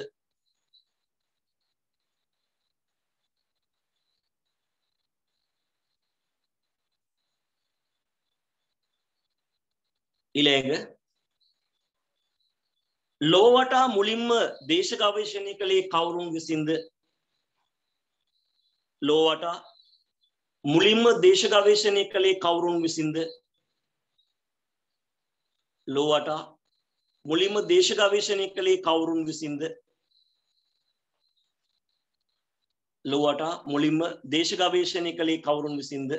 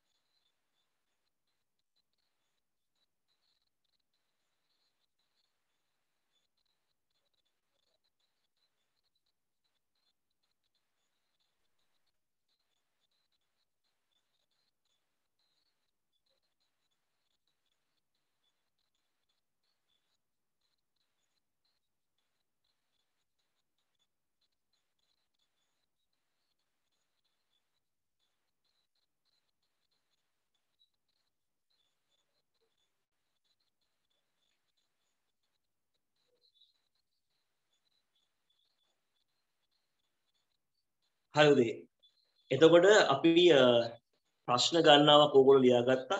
මේ ප්‍රශ්නවලට උත්තර ඔගොල්ලෝ ලියලා මට එවන්න උදේ. ප්‍රශ්නවලට උත්තර ලියලා උතේ PDF ආකාරයෙන් මට එවන්න. මට ඒව බලන්න ලේසි. එතකොට PDF එකට උත්තර ටික බලලා උදේ මම ඕගොල්ලන්ට එවනවා. ප්‍රශ්නයකට උත්තර ලියනකොට ඒ උත්තරේ මට එවන උදේ මට PDF කරලා එවන්න. නැත්නම් බලන්න පොඩ්ඩක් අසීරුයි.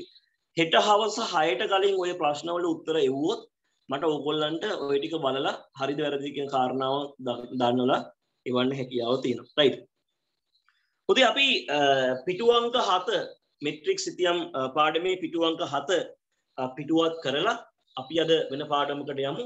ඊට කලින් උදේ මේ මෙට්‍රික් සිතියමේ ආරම්භය අපි ගන්න ඕනේ. අපි ඉගෙන ගන්න යන්නේ උතේ මෙට්‍රික් සිතියම පිළිබඳ. හරිද? අපි ඉගෙන ගන්න යන්නේ මෙට්‍රික් සිතියම පිළිබඳ. ඕගොල්ලන්ට විභාගෙදි පුතා ඕගොල්ලන්ට විභාගෙදි හම්බ වෙනවා මෙන්න මේ වගේ සිතියමක්. මෙන්න මේ වගේ සිතියමක් හම්බ වෙනවා. මේ සිතියම දීලා විභාගෙදි මේ සිතියම් කඩදාසිය දීලා ඔයාගෙන් ලකුණු 20ක ප්‍රශ්න අහනවා. ලකුණු 20ක ප්‍රශ්න අහනවා. ඒ 20 අනිවාර්යයි. ජෝග්‍රෆි කරන ඕන ළමයි ඒ ලකුණු 20 ගන්න ඕනේ. හරිද? ඒ ලකුණු 20 ගන්න කලින් කියන්න ඕනේ මේ තියෙන උතේ මෙට්‍රික් සිතියම. මේ තියෙන මෙට්‍රික් සිතියම.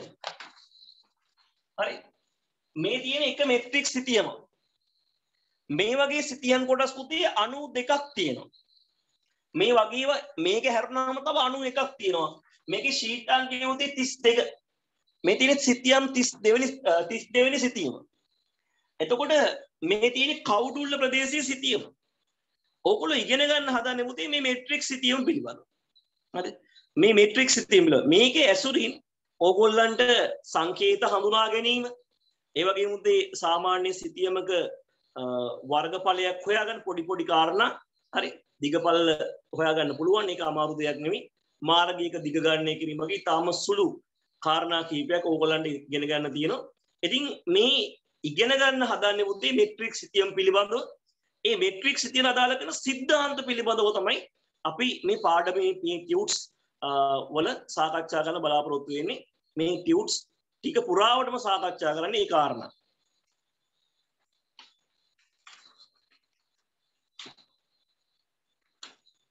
අපි අද දවසේ පුතේ තුන පහ පන්තියේදී මෙන්න මේ නිබන්ධනය සාකච්ඡා කළා. මේ මෙට්‍රික් සිතියමේ නිබන්ධනය. හරි. මම ඕගොල්ලන්ට පෙන්වන්න දැන් ඒගොල්ලෝ ඉන්න මට්ටම සහ ඒගොල්ලෝ ඉන්න කරන දේවල් පොඩ්ඩක් කීපයක්.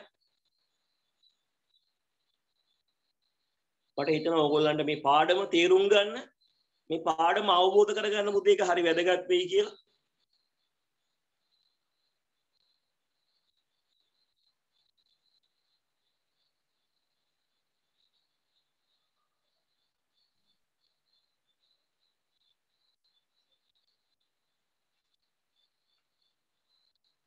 මේ එක දරුවෙක් අඳින උදේ මේ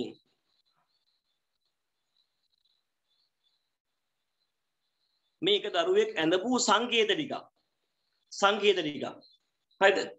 වැඩි ලස්සනයිද ලේසියිද කියලා හොඳට බලන්න. ඔය සංකේත ටික පුතේ ඔය සංකේත එකින් එකට අඳින්න කියලා දෙනවා. ඔය සංකේත උතේ එකින් එකට අඳින්න කියලා දෙනවා හොඳේ මේ පන්දියේ එහෙම කියලා දෙන පන්දියක් මේ බලන්න උදේ ඔය තියෙන උතේ මේ සංකේත ටික. ඔය තියෙන මේ සංකේත ටික. හරිද? මේ සිතියමේ තියෙන මේ සිතියම අඳුර ගන්න අවශ්‍ය සංකේතයි තියෙන්නේ. ඒ වගේම ඒ දරුවන් පුතේ මේ වෙනකොට අපිත් එක්ක කතා කරගෙන යනවා මේ මේ දෙකලෝ අධ්‍යයනය කරනවා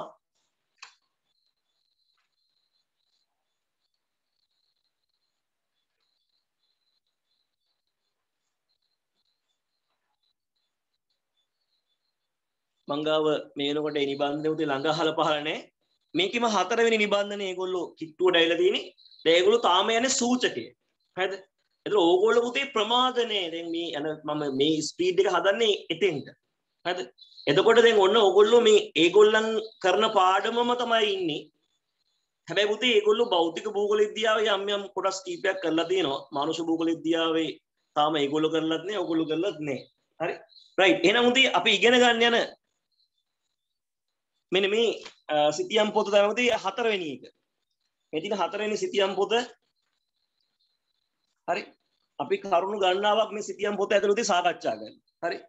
ඉතින් ඒ නිසා මේ නිබන්ධන ඊළඟ නිබන්ධනයේ උදේ ඔයගොල්ලන්ට හම්බෙන්නේ එකින් එකට. හරිද? දැන් ඕගොල්ලන්ට මේ තියෙන්නේ නිබන්ධන දෙකක් එකතු කරලානේ.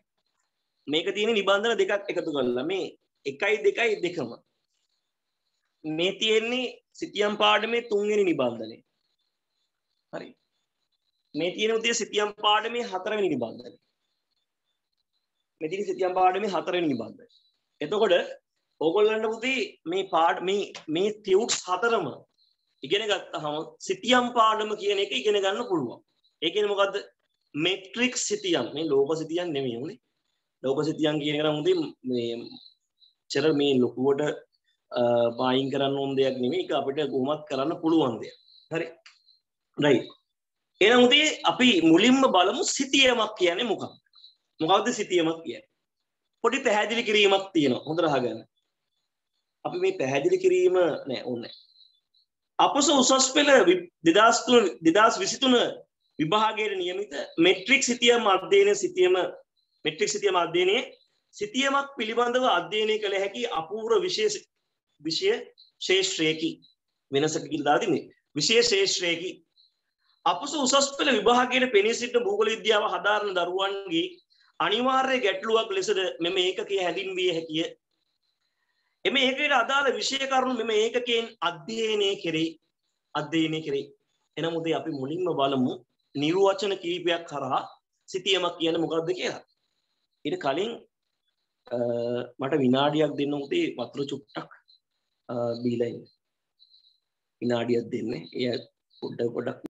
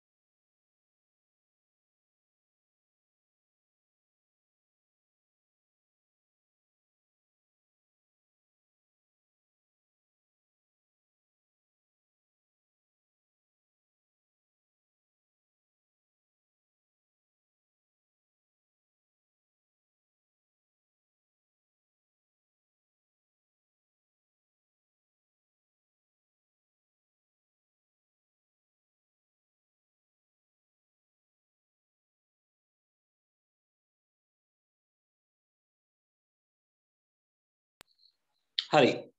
උතිය විරාමය අතරතුර මට ඔගොල්ලන්ට පෙන්වන්න පුංචි ගීතයක්.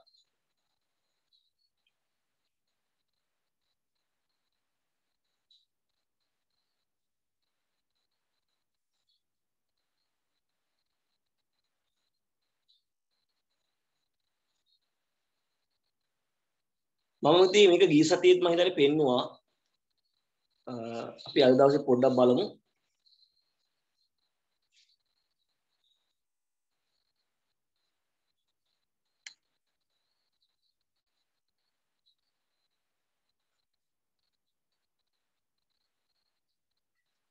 මේ මෙන්න මේක උදා. මෙන්න මේ කොටස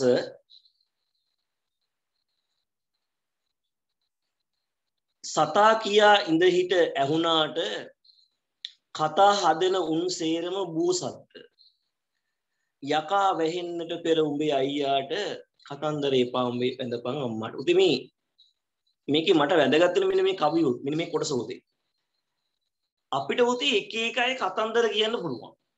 ඉගෙන ගන්න බැරි එකා ඉගෙන ගන්න බැරි මොට්ටයා එක එක වගේ උත ඒව උත්තේජකයක් කරගන්න ජීවිතේට. ඒව ජීවිතයේ ජයග්‍රහණය කරගන්න අභිප්‍රේරණයක් කරගන්න. අපිට එක එක අය එක විදිහට කියයි. හරි තමරකයට අයියට ඔක්කා කියන්නේ මොඩයා මොට්ටියා කියලා නේ. එක එක කියන්න පුළුවන් උදේ. හැබැයි ඒගොල්ලන්ට කතා හදන්න ඕගොල්ලෝ ඉඩහසර දෙන්න එපා. මේ ඒ ලෙවල් විභාගයේ ඕගොල්ලෝ කතන්දර හදපු අයට මම ලස්සන කතාවක් නිර්මාණය කළා කියලා කියන තැනට ප්‍රතිඵලයක් වෙන්න. ඒලෙවල් පාස් වෙලා කැම්පස් එකට උදේ පාස් වුණොත් කවුරුවක්වත් ඔයාලට මෝඩයා කියන්නේ නැති. මම මේ කියන්නේ එහෙම සමහරක් වෙලාවට ඕ ලෙවල් වල අඩු ප්‍රතිඵලයක් අරගෙන එහෙම අහපු ළමයින්ට මම මේ කියන්නේ. ඒ වගේ උන්දී සමහරක් වෙලාවට ආර්ට්ස් කරන ළමයින්ට කියන එකක් තමයි ආර්ට්ස් කළා මොනවා කරන්නද කියලා මම මෙහෙම අයට කියන උදේ ඒව කතන්දර ඒ කතන්දර එකක්වත් අහන්න එපා අපි තව ගීත කොටසක් තියෙනවා උදේ චුට්ටක් ඒකත් පොඩ්ඩක් බලමු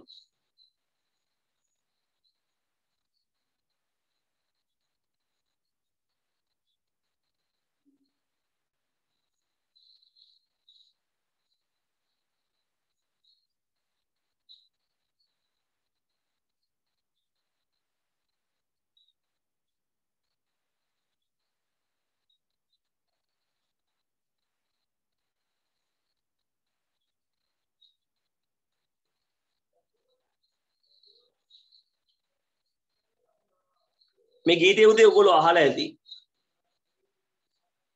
මේක උදේ මොකක්වත් නෙමෙයි අදගත්තේ මෙන්න මේ කොටස මට.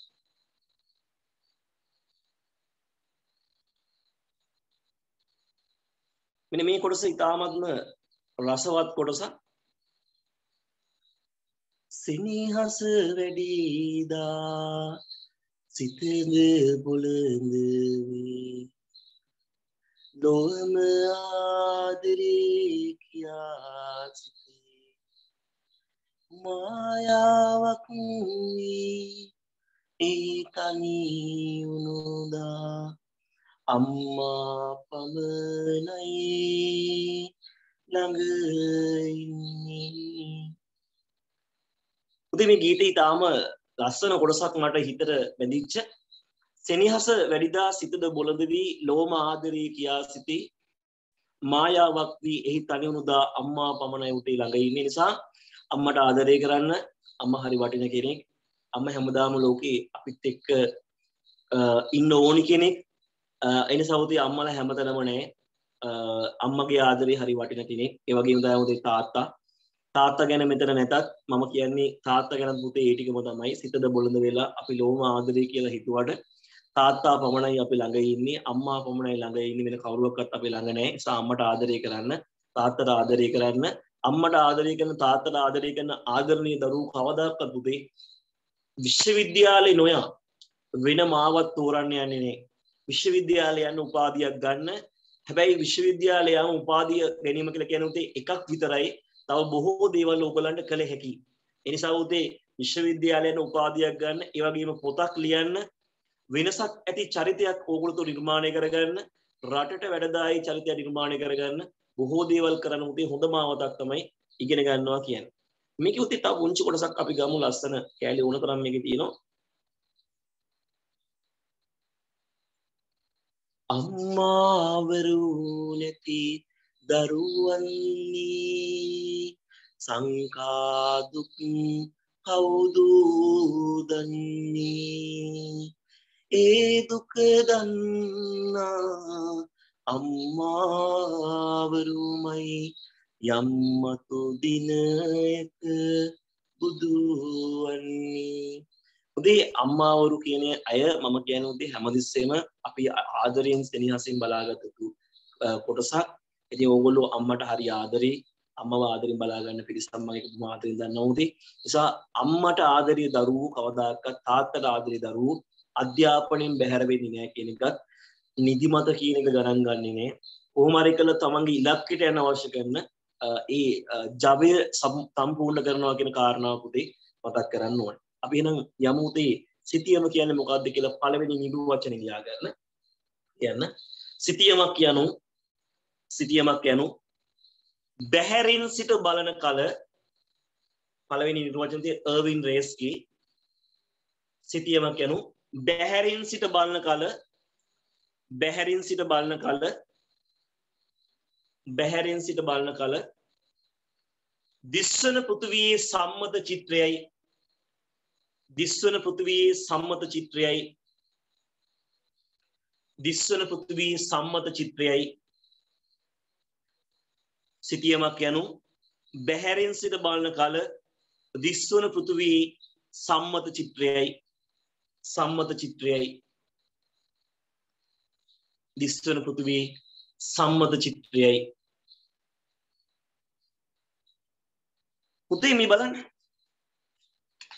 අපි මනුස්සයෙක් දිහා බැහැරින් ඉඳලා බලනකොට පුතේ පේන කෙනයි. බැහැරින් ඉඳලා බලනකොට පේන කෙනයි. අපි ළඟට ගිහිල්ලා පුතේ බලන කෙනා අතර වෙනසක් තියෙන්න පුළුවන්. ඒ වගේ තමයි පුතේ අපි ගත්තොත් එහෙම අපි පෘථුවිය දිහා අපි මහරගම ප්‍රදේශයේ දිහා බැහැරින් ඉඳලා බලනකොට බැහැරින් ඉඳලා බලනකොට අපිට මේක හොඳින් පේන්න තියෙනවා. හැබැයි මහරගම ඔර්ලෝසු කණුගාවට ගිහලා බැලුවොත් මේක පේන්නේ නැහැ මුති හරියට. මේ ඔර්ලෝසු කණුගාවට ගිහලා බැලුවම මහරගම සිව්කොන පේන්නේ නැහැ අපිට. හරි. මහරගම සිව්කොන පේන්නම් බැහැරින් ඉඳලා බලන්න ඕනේ. කෙනෙක්ව අධ්‍යයනය කරන්න නම් කෙනෙක්ව තේරුම් ගන්න උදේ අනිවාර්යයෙන්ම බැහැරින් ඉඳලා බලන්න. එයාගේ ඇතුළට ගිහිල්ලා බැලුවාම උදේ අපිට එයාව අඳුර ගන්න හරි අමාරුයි. නිසා සිතියමක් කියලා කියන්නේ බැහැරින් ඉඳලා බලනකොට පේන්න තියෙන ස්වභාවයයි කියලා කවුද කියන්නේ? අර්වින් රේස් අර්වින් රේස් අපි ඊළඟ නිර්වචනය ලියගමු. GE ජේම්ස්ගේ නිර්වචනය ලියාගමු. ලියන්න. සිතියමක් යනු සිතියමක් යනු සිතියමක් යනු සිතියමක් යනු පෘථිවි තලයේ වඩා විශාල වූ රටාවක් පෘථිවි තලයේ වඩා විශාල වූ රටාවක් සිතියමක් යනු පෘථිවි තලයේ වඩා විශාල වූ රටාවක් පෘථිවි තලයේ වඩා විශාල වූ රටාවක් අවබෝධ කරගත හැකිවන පරිදි සිතියමක් යනු. පෘථිවි තලයේ වඩා විශාල වූ රටාවක් අවබෝධ කරගත හැකිවන පරිදි පෘථිවි තලයේ වඩා විශාල වූ රටාවක් අවබෝධ කරගත හැකිවන පරිදි. අවබෝධ කරගත හැකිවන පරිදි.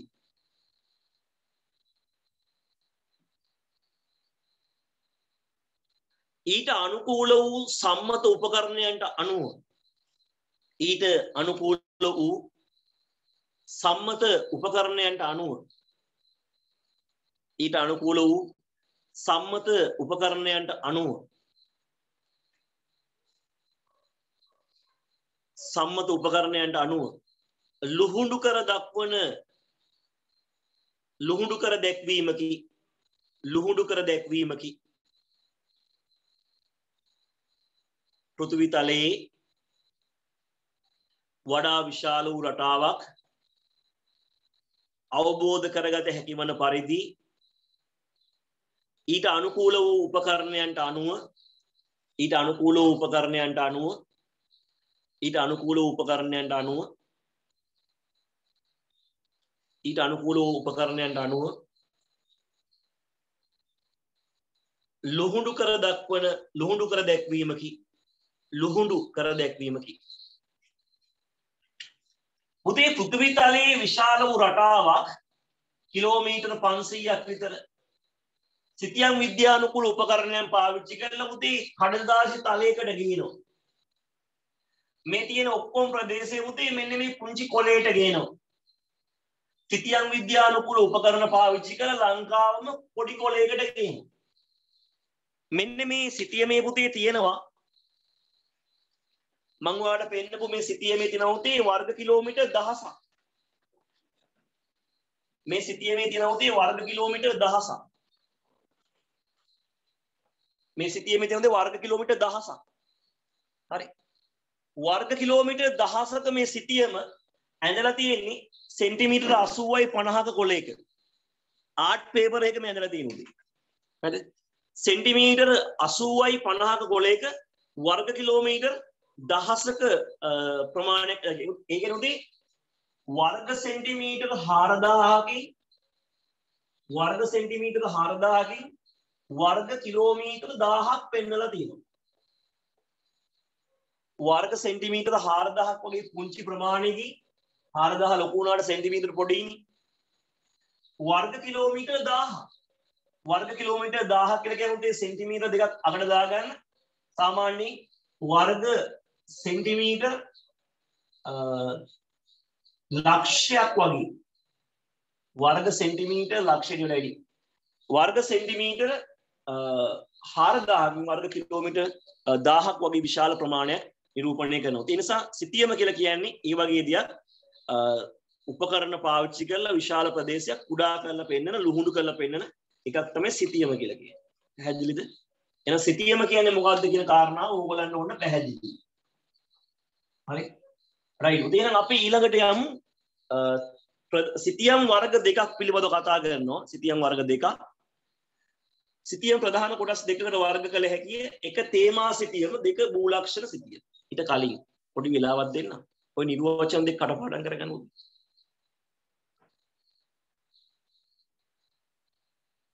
ඔය නිර්වචන දෙක කටපාඩම් කරගන්න.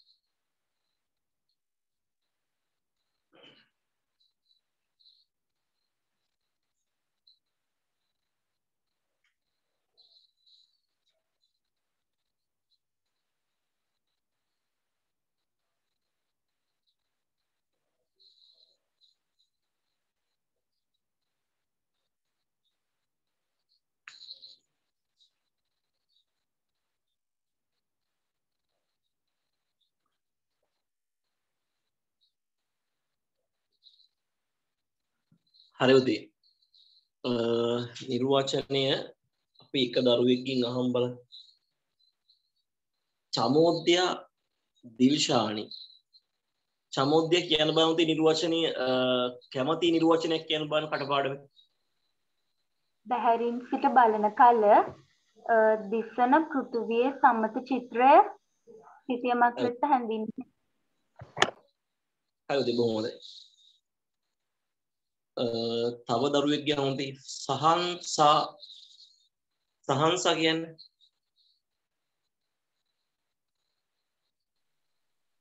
සිතියමක් යනු පෘතුවයේ සහස්්‍ර.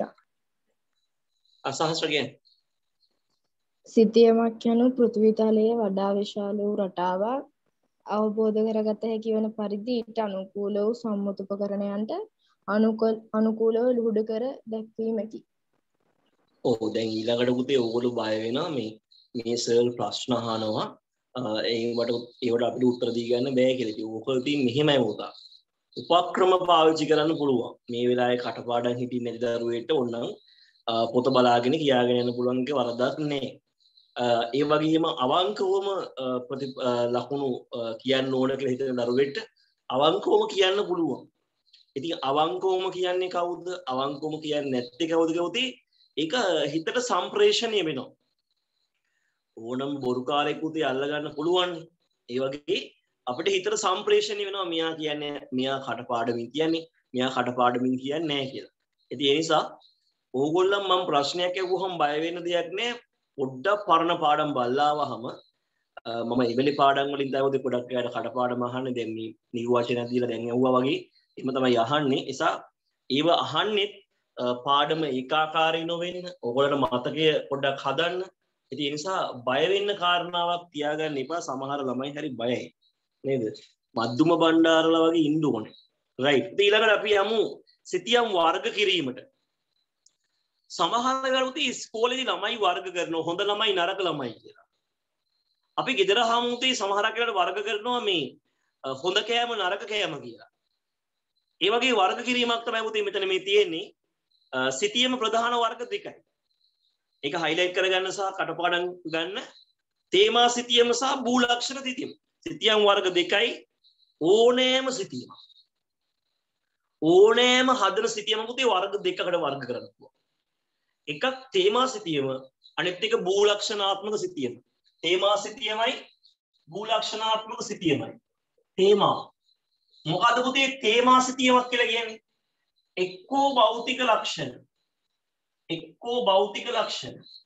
එක්කෝ සංස්කෘතික ලක්ෂණ. එක්කෝ සංස්කෘතික ලක්ෂණ. පුතේ භෞතික කියන්නේ ස්වභාවික. සංස්කෘතික කියන්නේ මානව. මිනිසා මැදහැත් වෙලා. ස්වභාවික. හරිද? එතකොට භෞතිකව දකින්න හම්බෙන කරුණු හරි සංස්කෘතිකව දකින්න හම්බෙන කරුණු හරි ඒ කියන්නේ උතේ ස්වභාවිකව නිර්මාණය වෙච්ච දෙයක් හරි මිනිසා විසින් නිර්මාණය කරපු දෙයක් හරි උතේ එක මාතෘකාවක් ලෙසගෙන ඒ කියන්නේ ජල වහනය ශ්‍රී ලංකාවේ ජල වහන සිටිය. ශ්‍රී ලංකාවේ පාන්සු සිටියම. ශ්‍රී ලංකාවේ වනාන්තර සිටියම. ස්වභාවිකයිනේ පුතා. මිනිස්සු හදපුවා නෙමෙයි. භෞතික ලක්ෂණ සිටියම් හැබැයි එක මාතෘකාවයි. ශ්‍රී ලංකාවේ ජල වහනය ගත්තාම වෙන මොකුත් තියෙන්න බෑ. ශ්‍රී ලංකාවේ පාන්සු සිතියම ගත්තාම වෙන මොකුත් තියෙන්න බෑ. ශ්‍රී ලංකාවේ ගංගා සිතියම ගත්තාම වෙන මොකුත් තියෙන්න බෑ. ගංගා විතරයි තියෙන්න පුළුවන්. සිතියමත් එක්ක ගංගා තියෙනුනේ. සිතියම නැතු ගංගා නේ ගංගා තියෙනවනේ සිතියමක් තියෙනවා. හරිද? එහෙනම් එක මාතෘකාවක් පදනම් කරගෙන නිර්මාණය කරන සිතියම් අපි කියනවා තේ තේමා සිතියම් කියන. අපි ලියගමු. ලියන්න. ලියන්න. එක් මාතෘකාවක් පදනම් කරගනිමින් එක් මාතෘකාවක් පදනම් කරගනිමින් නිර්මාණය වී ඇති සිතියම්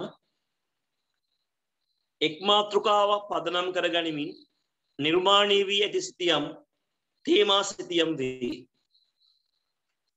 එක් මාතෘකාවක් පදනම් කරගනිමින් නිර්මාණය වී ඇති සිතියම් තේමා සිතියම් වේ. එක් මාතෘකාවක් පදනම් කරගනිමින් නිර්මාණය වී ඇති සිතියම් තේමා සිතියම් වේ. තේමා සිතියම් වේ. උදාහරණ උදාහරණ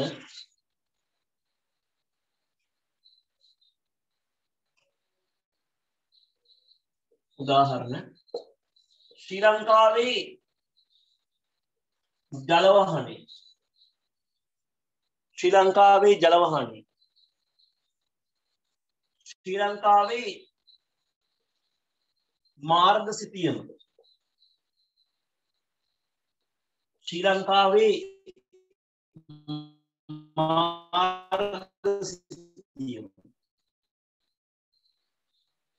ශ්‍රී ලංකාවේ මාර්ග සිටියම.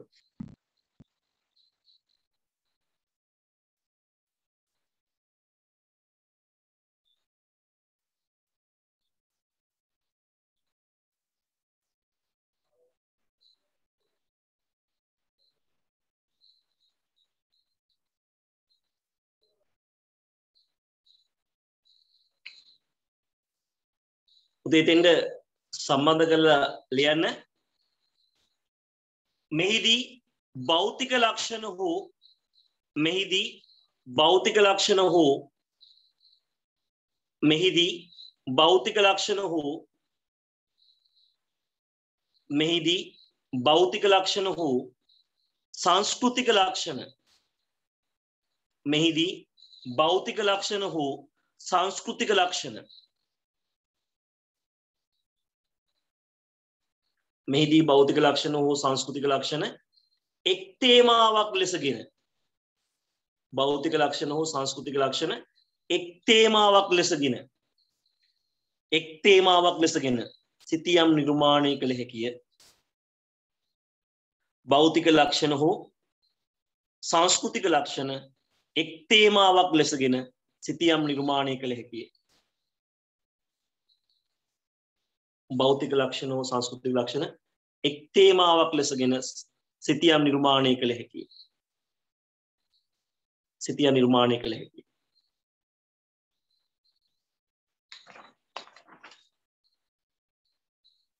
ඊළඟට අපි භූලක්ෂණ සිතියම ගැන ලියාගමු.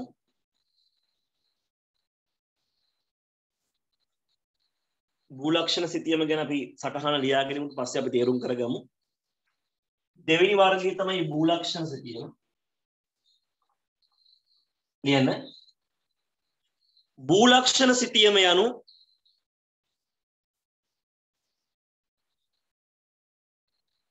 භූලක්ෂණ සිතියම යනු භූමිය මතුපිට දක්නට ලැබෙන භූමිය මතුපිට දක්නට ලැබෙන සියලුම ලක්ෂණ අන්තර්ගත සිතියම්ය. සියලුම ලක්ෂණ අන්තර්ගත සිතියම්ය.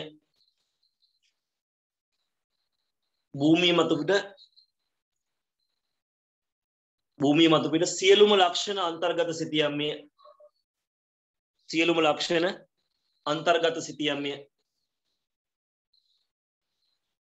භූමිය මතුපිට සියලුම ලක්ෂණ අන්තර්ගත සිතියම්ය.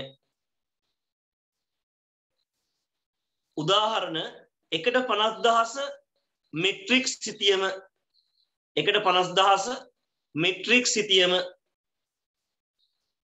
එකට පනස් දහස මෙට්‍රික් සිතියම එකට පනස් දහස මෙට්‍රික් සිතියම.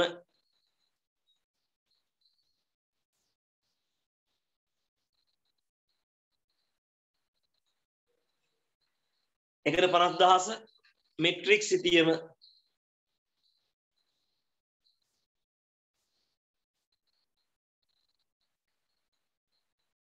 එකට පනත්දහස මෙට්‍රික් සිතියම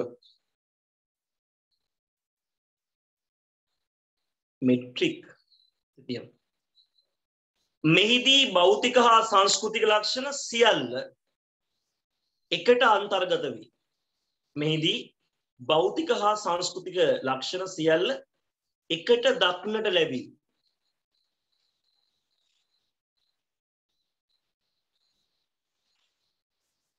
භෞතික හා සංස්කෘතික ලක්ෂණ සියල්ල එකට දක්නට ලැබේ. එකට දක්නට ලැබේ.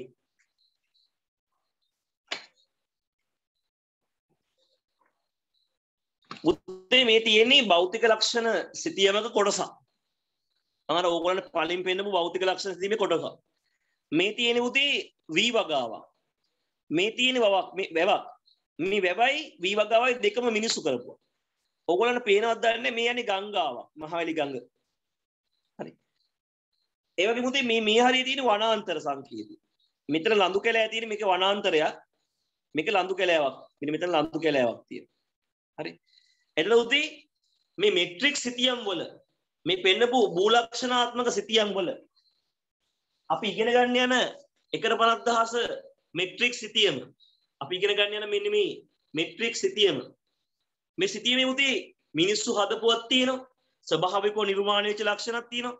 ඒ කියන්නේ භූමිය මත පිට තියෙන ඕනෑම ලක්ෂණයක් මේ සිතියම් වලට අන්තර්ගත කරලා තියෙනවා. අන්න ඒ වගේ සිතියම් වලට අපි කියනවා භූලක්ෂණාත්මක සිතියම් කියලා. භූලක්ෂණාත්මක සිතියම් කියලා. පුතේ දෙක වෙන වෙනම කටපාඩම් කරන් මම ළමයි දෙන්නෙක් කියන අහනවා. ඒ දෙකම කටපාඩම් කරගෙන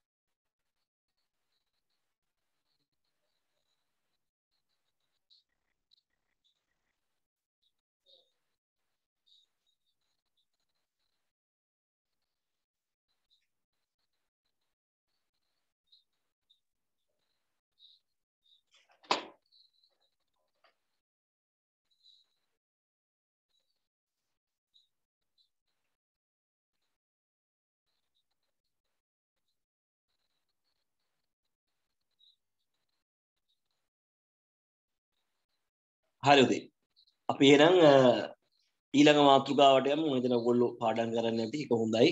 ඊළඟ පස්සේ දවසක එක හමු. රයිට් උදේ එතකොට ඊළඟ මාතෘකාව තමයි මේ මෙන්න මේ කාරණාවේ භෞතික ලක්ෂණ සිතියම් සහ සංස්කෘතික ලක්ෂණ සිතියම් මේකදී ප්‍රධාන වර්ගයක් නෙමෙයි.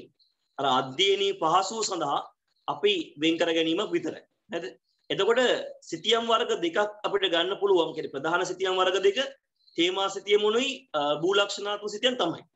මේක මේ අධ්‍යයනී පහසුව සඳහා. අපි යොදා ගන්න වර්ග දෙක ඒ තමයි භෞතික ලක්ෂණ සිතියන් සහ සංස්කෘතික ලක්ෂණ සිතියන්. භෞතික ලක්ෂණ සිතියන් කියුවේ භෞතික ලක්ෂණ පමණයි. උදාහරණයක් ගත්තොත් ජල වාහන සිතියම පාංශු සිතියම භෞතික ලක්ෂණ විතරයි. එහෙනම් භෞතික ලක්ෂණ පමණක් තියෙන සිතියන් වල අපි කියන්නේ භ- භෞතික ලක්ෂණ සිතියම් කියලා. ඒ වගේම තේ මිනිසා විසින් නිර්මාණය කරපු ලක්ෂණ ඇතුළත් කරලා තියෙන සිතියන් වල අපි කියන්නේ සංස්කෘතික ලක්ෂණ සිතියම් කියලා. හරිද? මිනිසා විසින් නිර්මාණය කරපු සිතියම් උදාහරණ මිනිසා විසින් නිර්මාණය කළ ලක්ෂණ ඇතුළත් සිතියම් උදාහරණයක් ගත්තොත් අ, ශ්‍රී ලංකාවේ මාර්ග සිතියම ශ්‍රී ලංකාවේ සංචාරක ස්ථාන සිතියම ඊළඟට අ, තේවගා ව්‍යාප්ති සිතියම ඊළඟට ගුවන් මාර්ග සිතියම ඒවා අපිට ගන්න පුළුවන් අ, මින්- සංස්කෘතික ලක්ෂණ සිතියම් විදියට. හරි. ඒ භෞතික ලක්ෂණ කියන එක ලියා ගන්න භෞතික ලක්ෂණ සිතියම කියන එක භෞතික ලක්ෂණ සිතියම් යනු භෞතික ලක්ෂණ සිතියම් යනු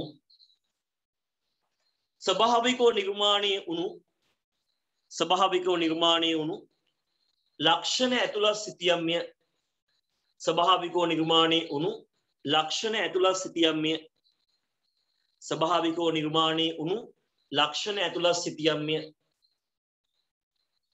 ස්වභාවිකව නිර්මාණය වුණු ලක්ෂණ ඇතුළත් සිතියම්ය ස්වභාවිකව නිර්මාණය වුණු ලක්ෂණ ඇතුළත් සිතියම්ය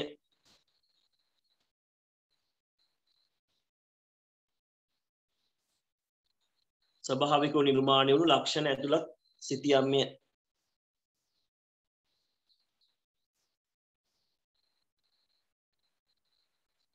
ස්වභාවික නිර්මාණය වුණු ලක්ෂණ ඇතුළත් සිතියම්ය උදාහරණ ශ්‍රී ලංකාවේ ජලවාහනය ලෝකේ ගංගා සිතියම ශ්‍රී ලංකාවේ ජලවාහනය ලෝකේ ගංගා සිතියම ලෝකේ ගංගා සිතියම ශ්‍රී ලංකාවේ ජලවාහනයේ ලෝකේ ගංගා සිතියම ලෝකේ ගංගා සිතියම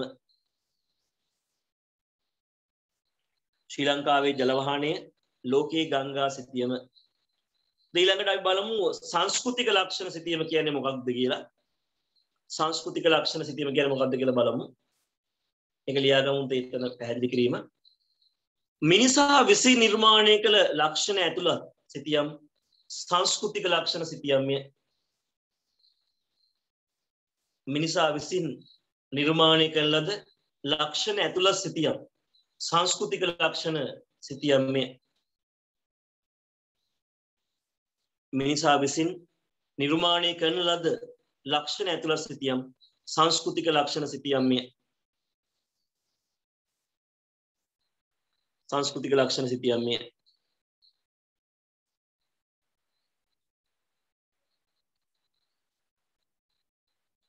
උදා උදා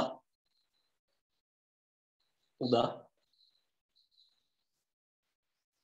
ශ්‍රී ලංකාවේ මාර්ග සිතියම ශ්‍රී ලංකාවේ මාර්ග සිතියම ලෝකේ නගර සිතියම ශ්‍රී ලංකාවේ මාර්ග සිතියම ලෝකේ නගර සිතියම ලෝකේ නගර සිතියම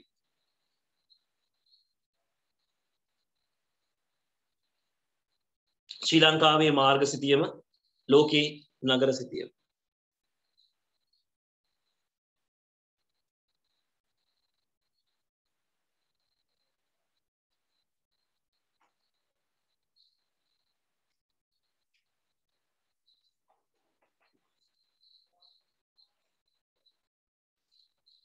පුතේ ඔගොල්ලෝ අ, භෞතික ලක්ෂණ අ, භෞතික භූගෝල විද්‍යාවට පොතක් ගත්තා. ඒකේ අපි අනුමාත්‍රිකා ටිකක් උදේ ලියලා තියෙනවා. අ, ඒක උදේ අ- පළවෙනි අනුමාත්‍රිකාව තමයි අපි දුන්නේ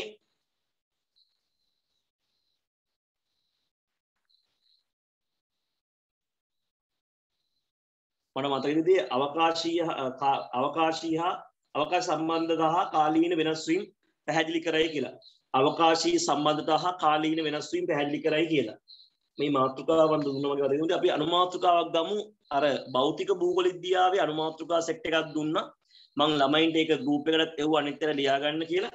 ලියාගත්තද කියන්නම් දන්නේ නැහැ. භෞතික භූගෝල විද්‍යාවේ උතේ පළවෙනි අනුමාතෘකාව භෞතික භූගෝල විද්‍යාව උතේ ලියලා නැත්තම් මාතෘකා අනුමාතෘකා විෂය නිර්දේශ ලියලා නැත්තම් ඔගොල්ලෝ උතේ ඒකට මම හිතන්නේ පිටු දෙක තුනක් ඉඩ තියලා මේ අනුමාතෘකාව ලියා ගන්න භෞතික භූගෝල විද්‍යාව හැඳින්වීම. භෞතික භූගෝල විද්‍යාව හැඳින්වීම.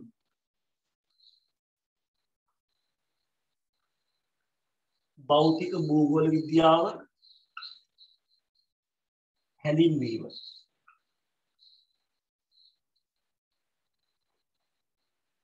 භෞතික භූගෝල විද්‍යාව හැඳින්වීම.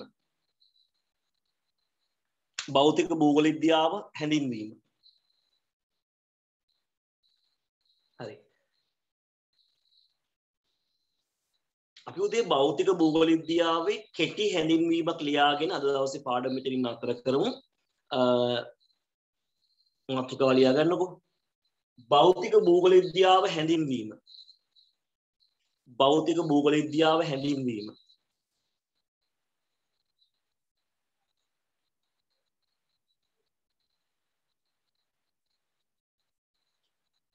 ලියන්න.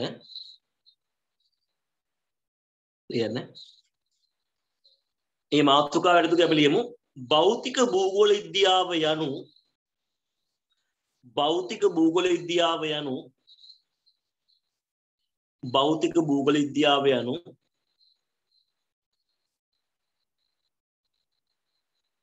මිනිසා සහ පරිසරය පිළිබඳව මිනිසා සහ පරිසරය පිළිබඳව මිනිසා සහ පරිසරය පිළිබඳව මිනිසා සහ පරිසරය පිළිබඳව මිනිසා සහ පරිසරය පිළිබඳව අධ්‍යයනය කරන මිනිසා සහ පරිසරය පිළිබඳව අධ්‍යයනය කරන විශේෂේශ්‍රයයි මිනිසා සහ පරිසරය පිළිබඳව අධ්‍යයනය කරන විශේෂේශ්‍රයයි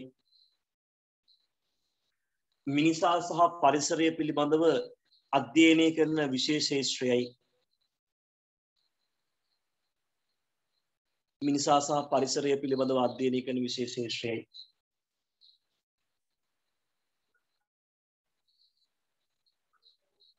මෙහි මෙහි මෙහිදී මිනිසාට වඩා මෙහිදී මිනිසාට වඩා පරිසරය ප්‍රමුඛව අධ්‍යයනය කරයි. මෙහිදී මිනිසාට වඩා පරිසරය ප්‍රමුඛව අධ්‍යයනය කරයි. පරිසරය ප්‍රමුඛව අධ්‍යයනය කරයි.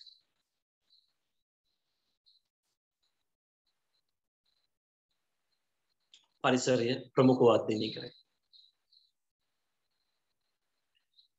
උදේ භෞතික භූගෝල විද්‍යාව කියලා කියන්නේ පරිසරයේ තියෙන ස්වභාවිකව නිර්මාණය වුණු භෞතික භූගෝල විද්‍යාව කියලා කියන්නේ පරිසරයේ තියෙන ස්වභාවිකව නිර්මාණය වුණු විවිධාකාර සාධකයන් පිළිබඳව අධ්‍යයනය කරන විෂය. පස පිළිබඳව, ජලය පිළිබඳව, දේශගුණය පිළිබඳව, වනාන්තර පිළිබඳව, සංවිධාන පිළිබඳව විධාකාර දේවල් පිළිබඳව අධ්‍යයනය කරන ගිනි කඳු පිළිබඳව භූමිකම්පා පිළිබඳව අධ්‍යයනය කරන විශේෂේෂ්ත්‍රය.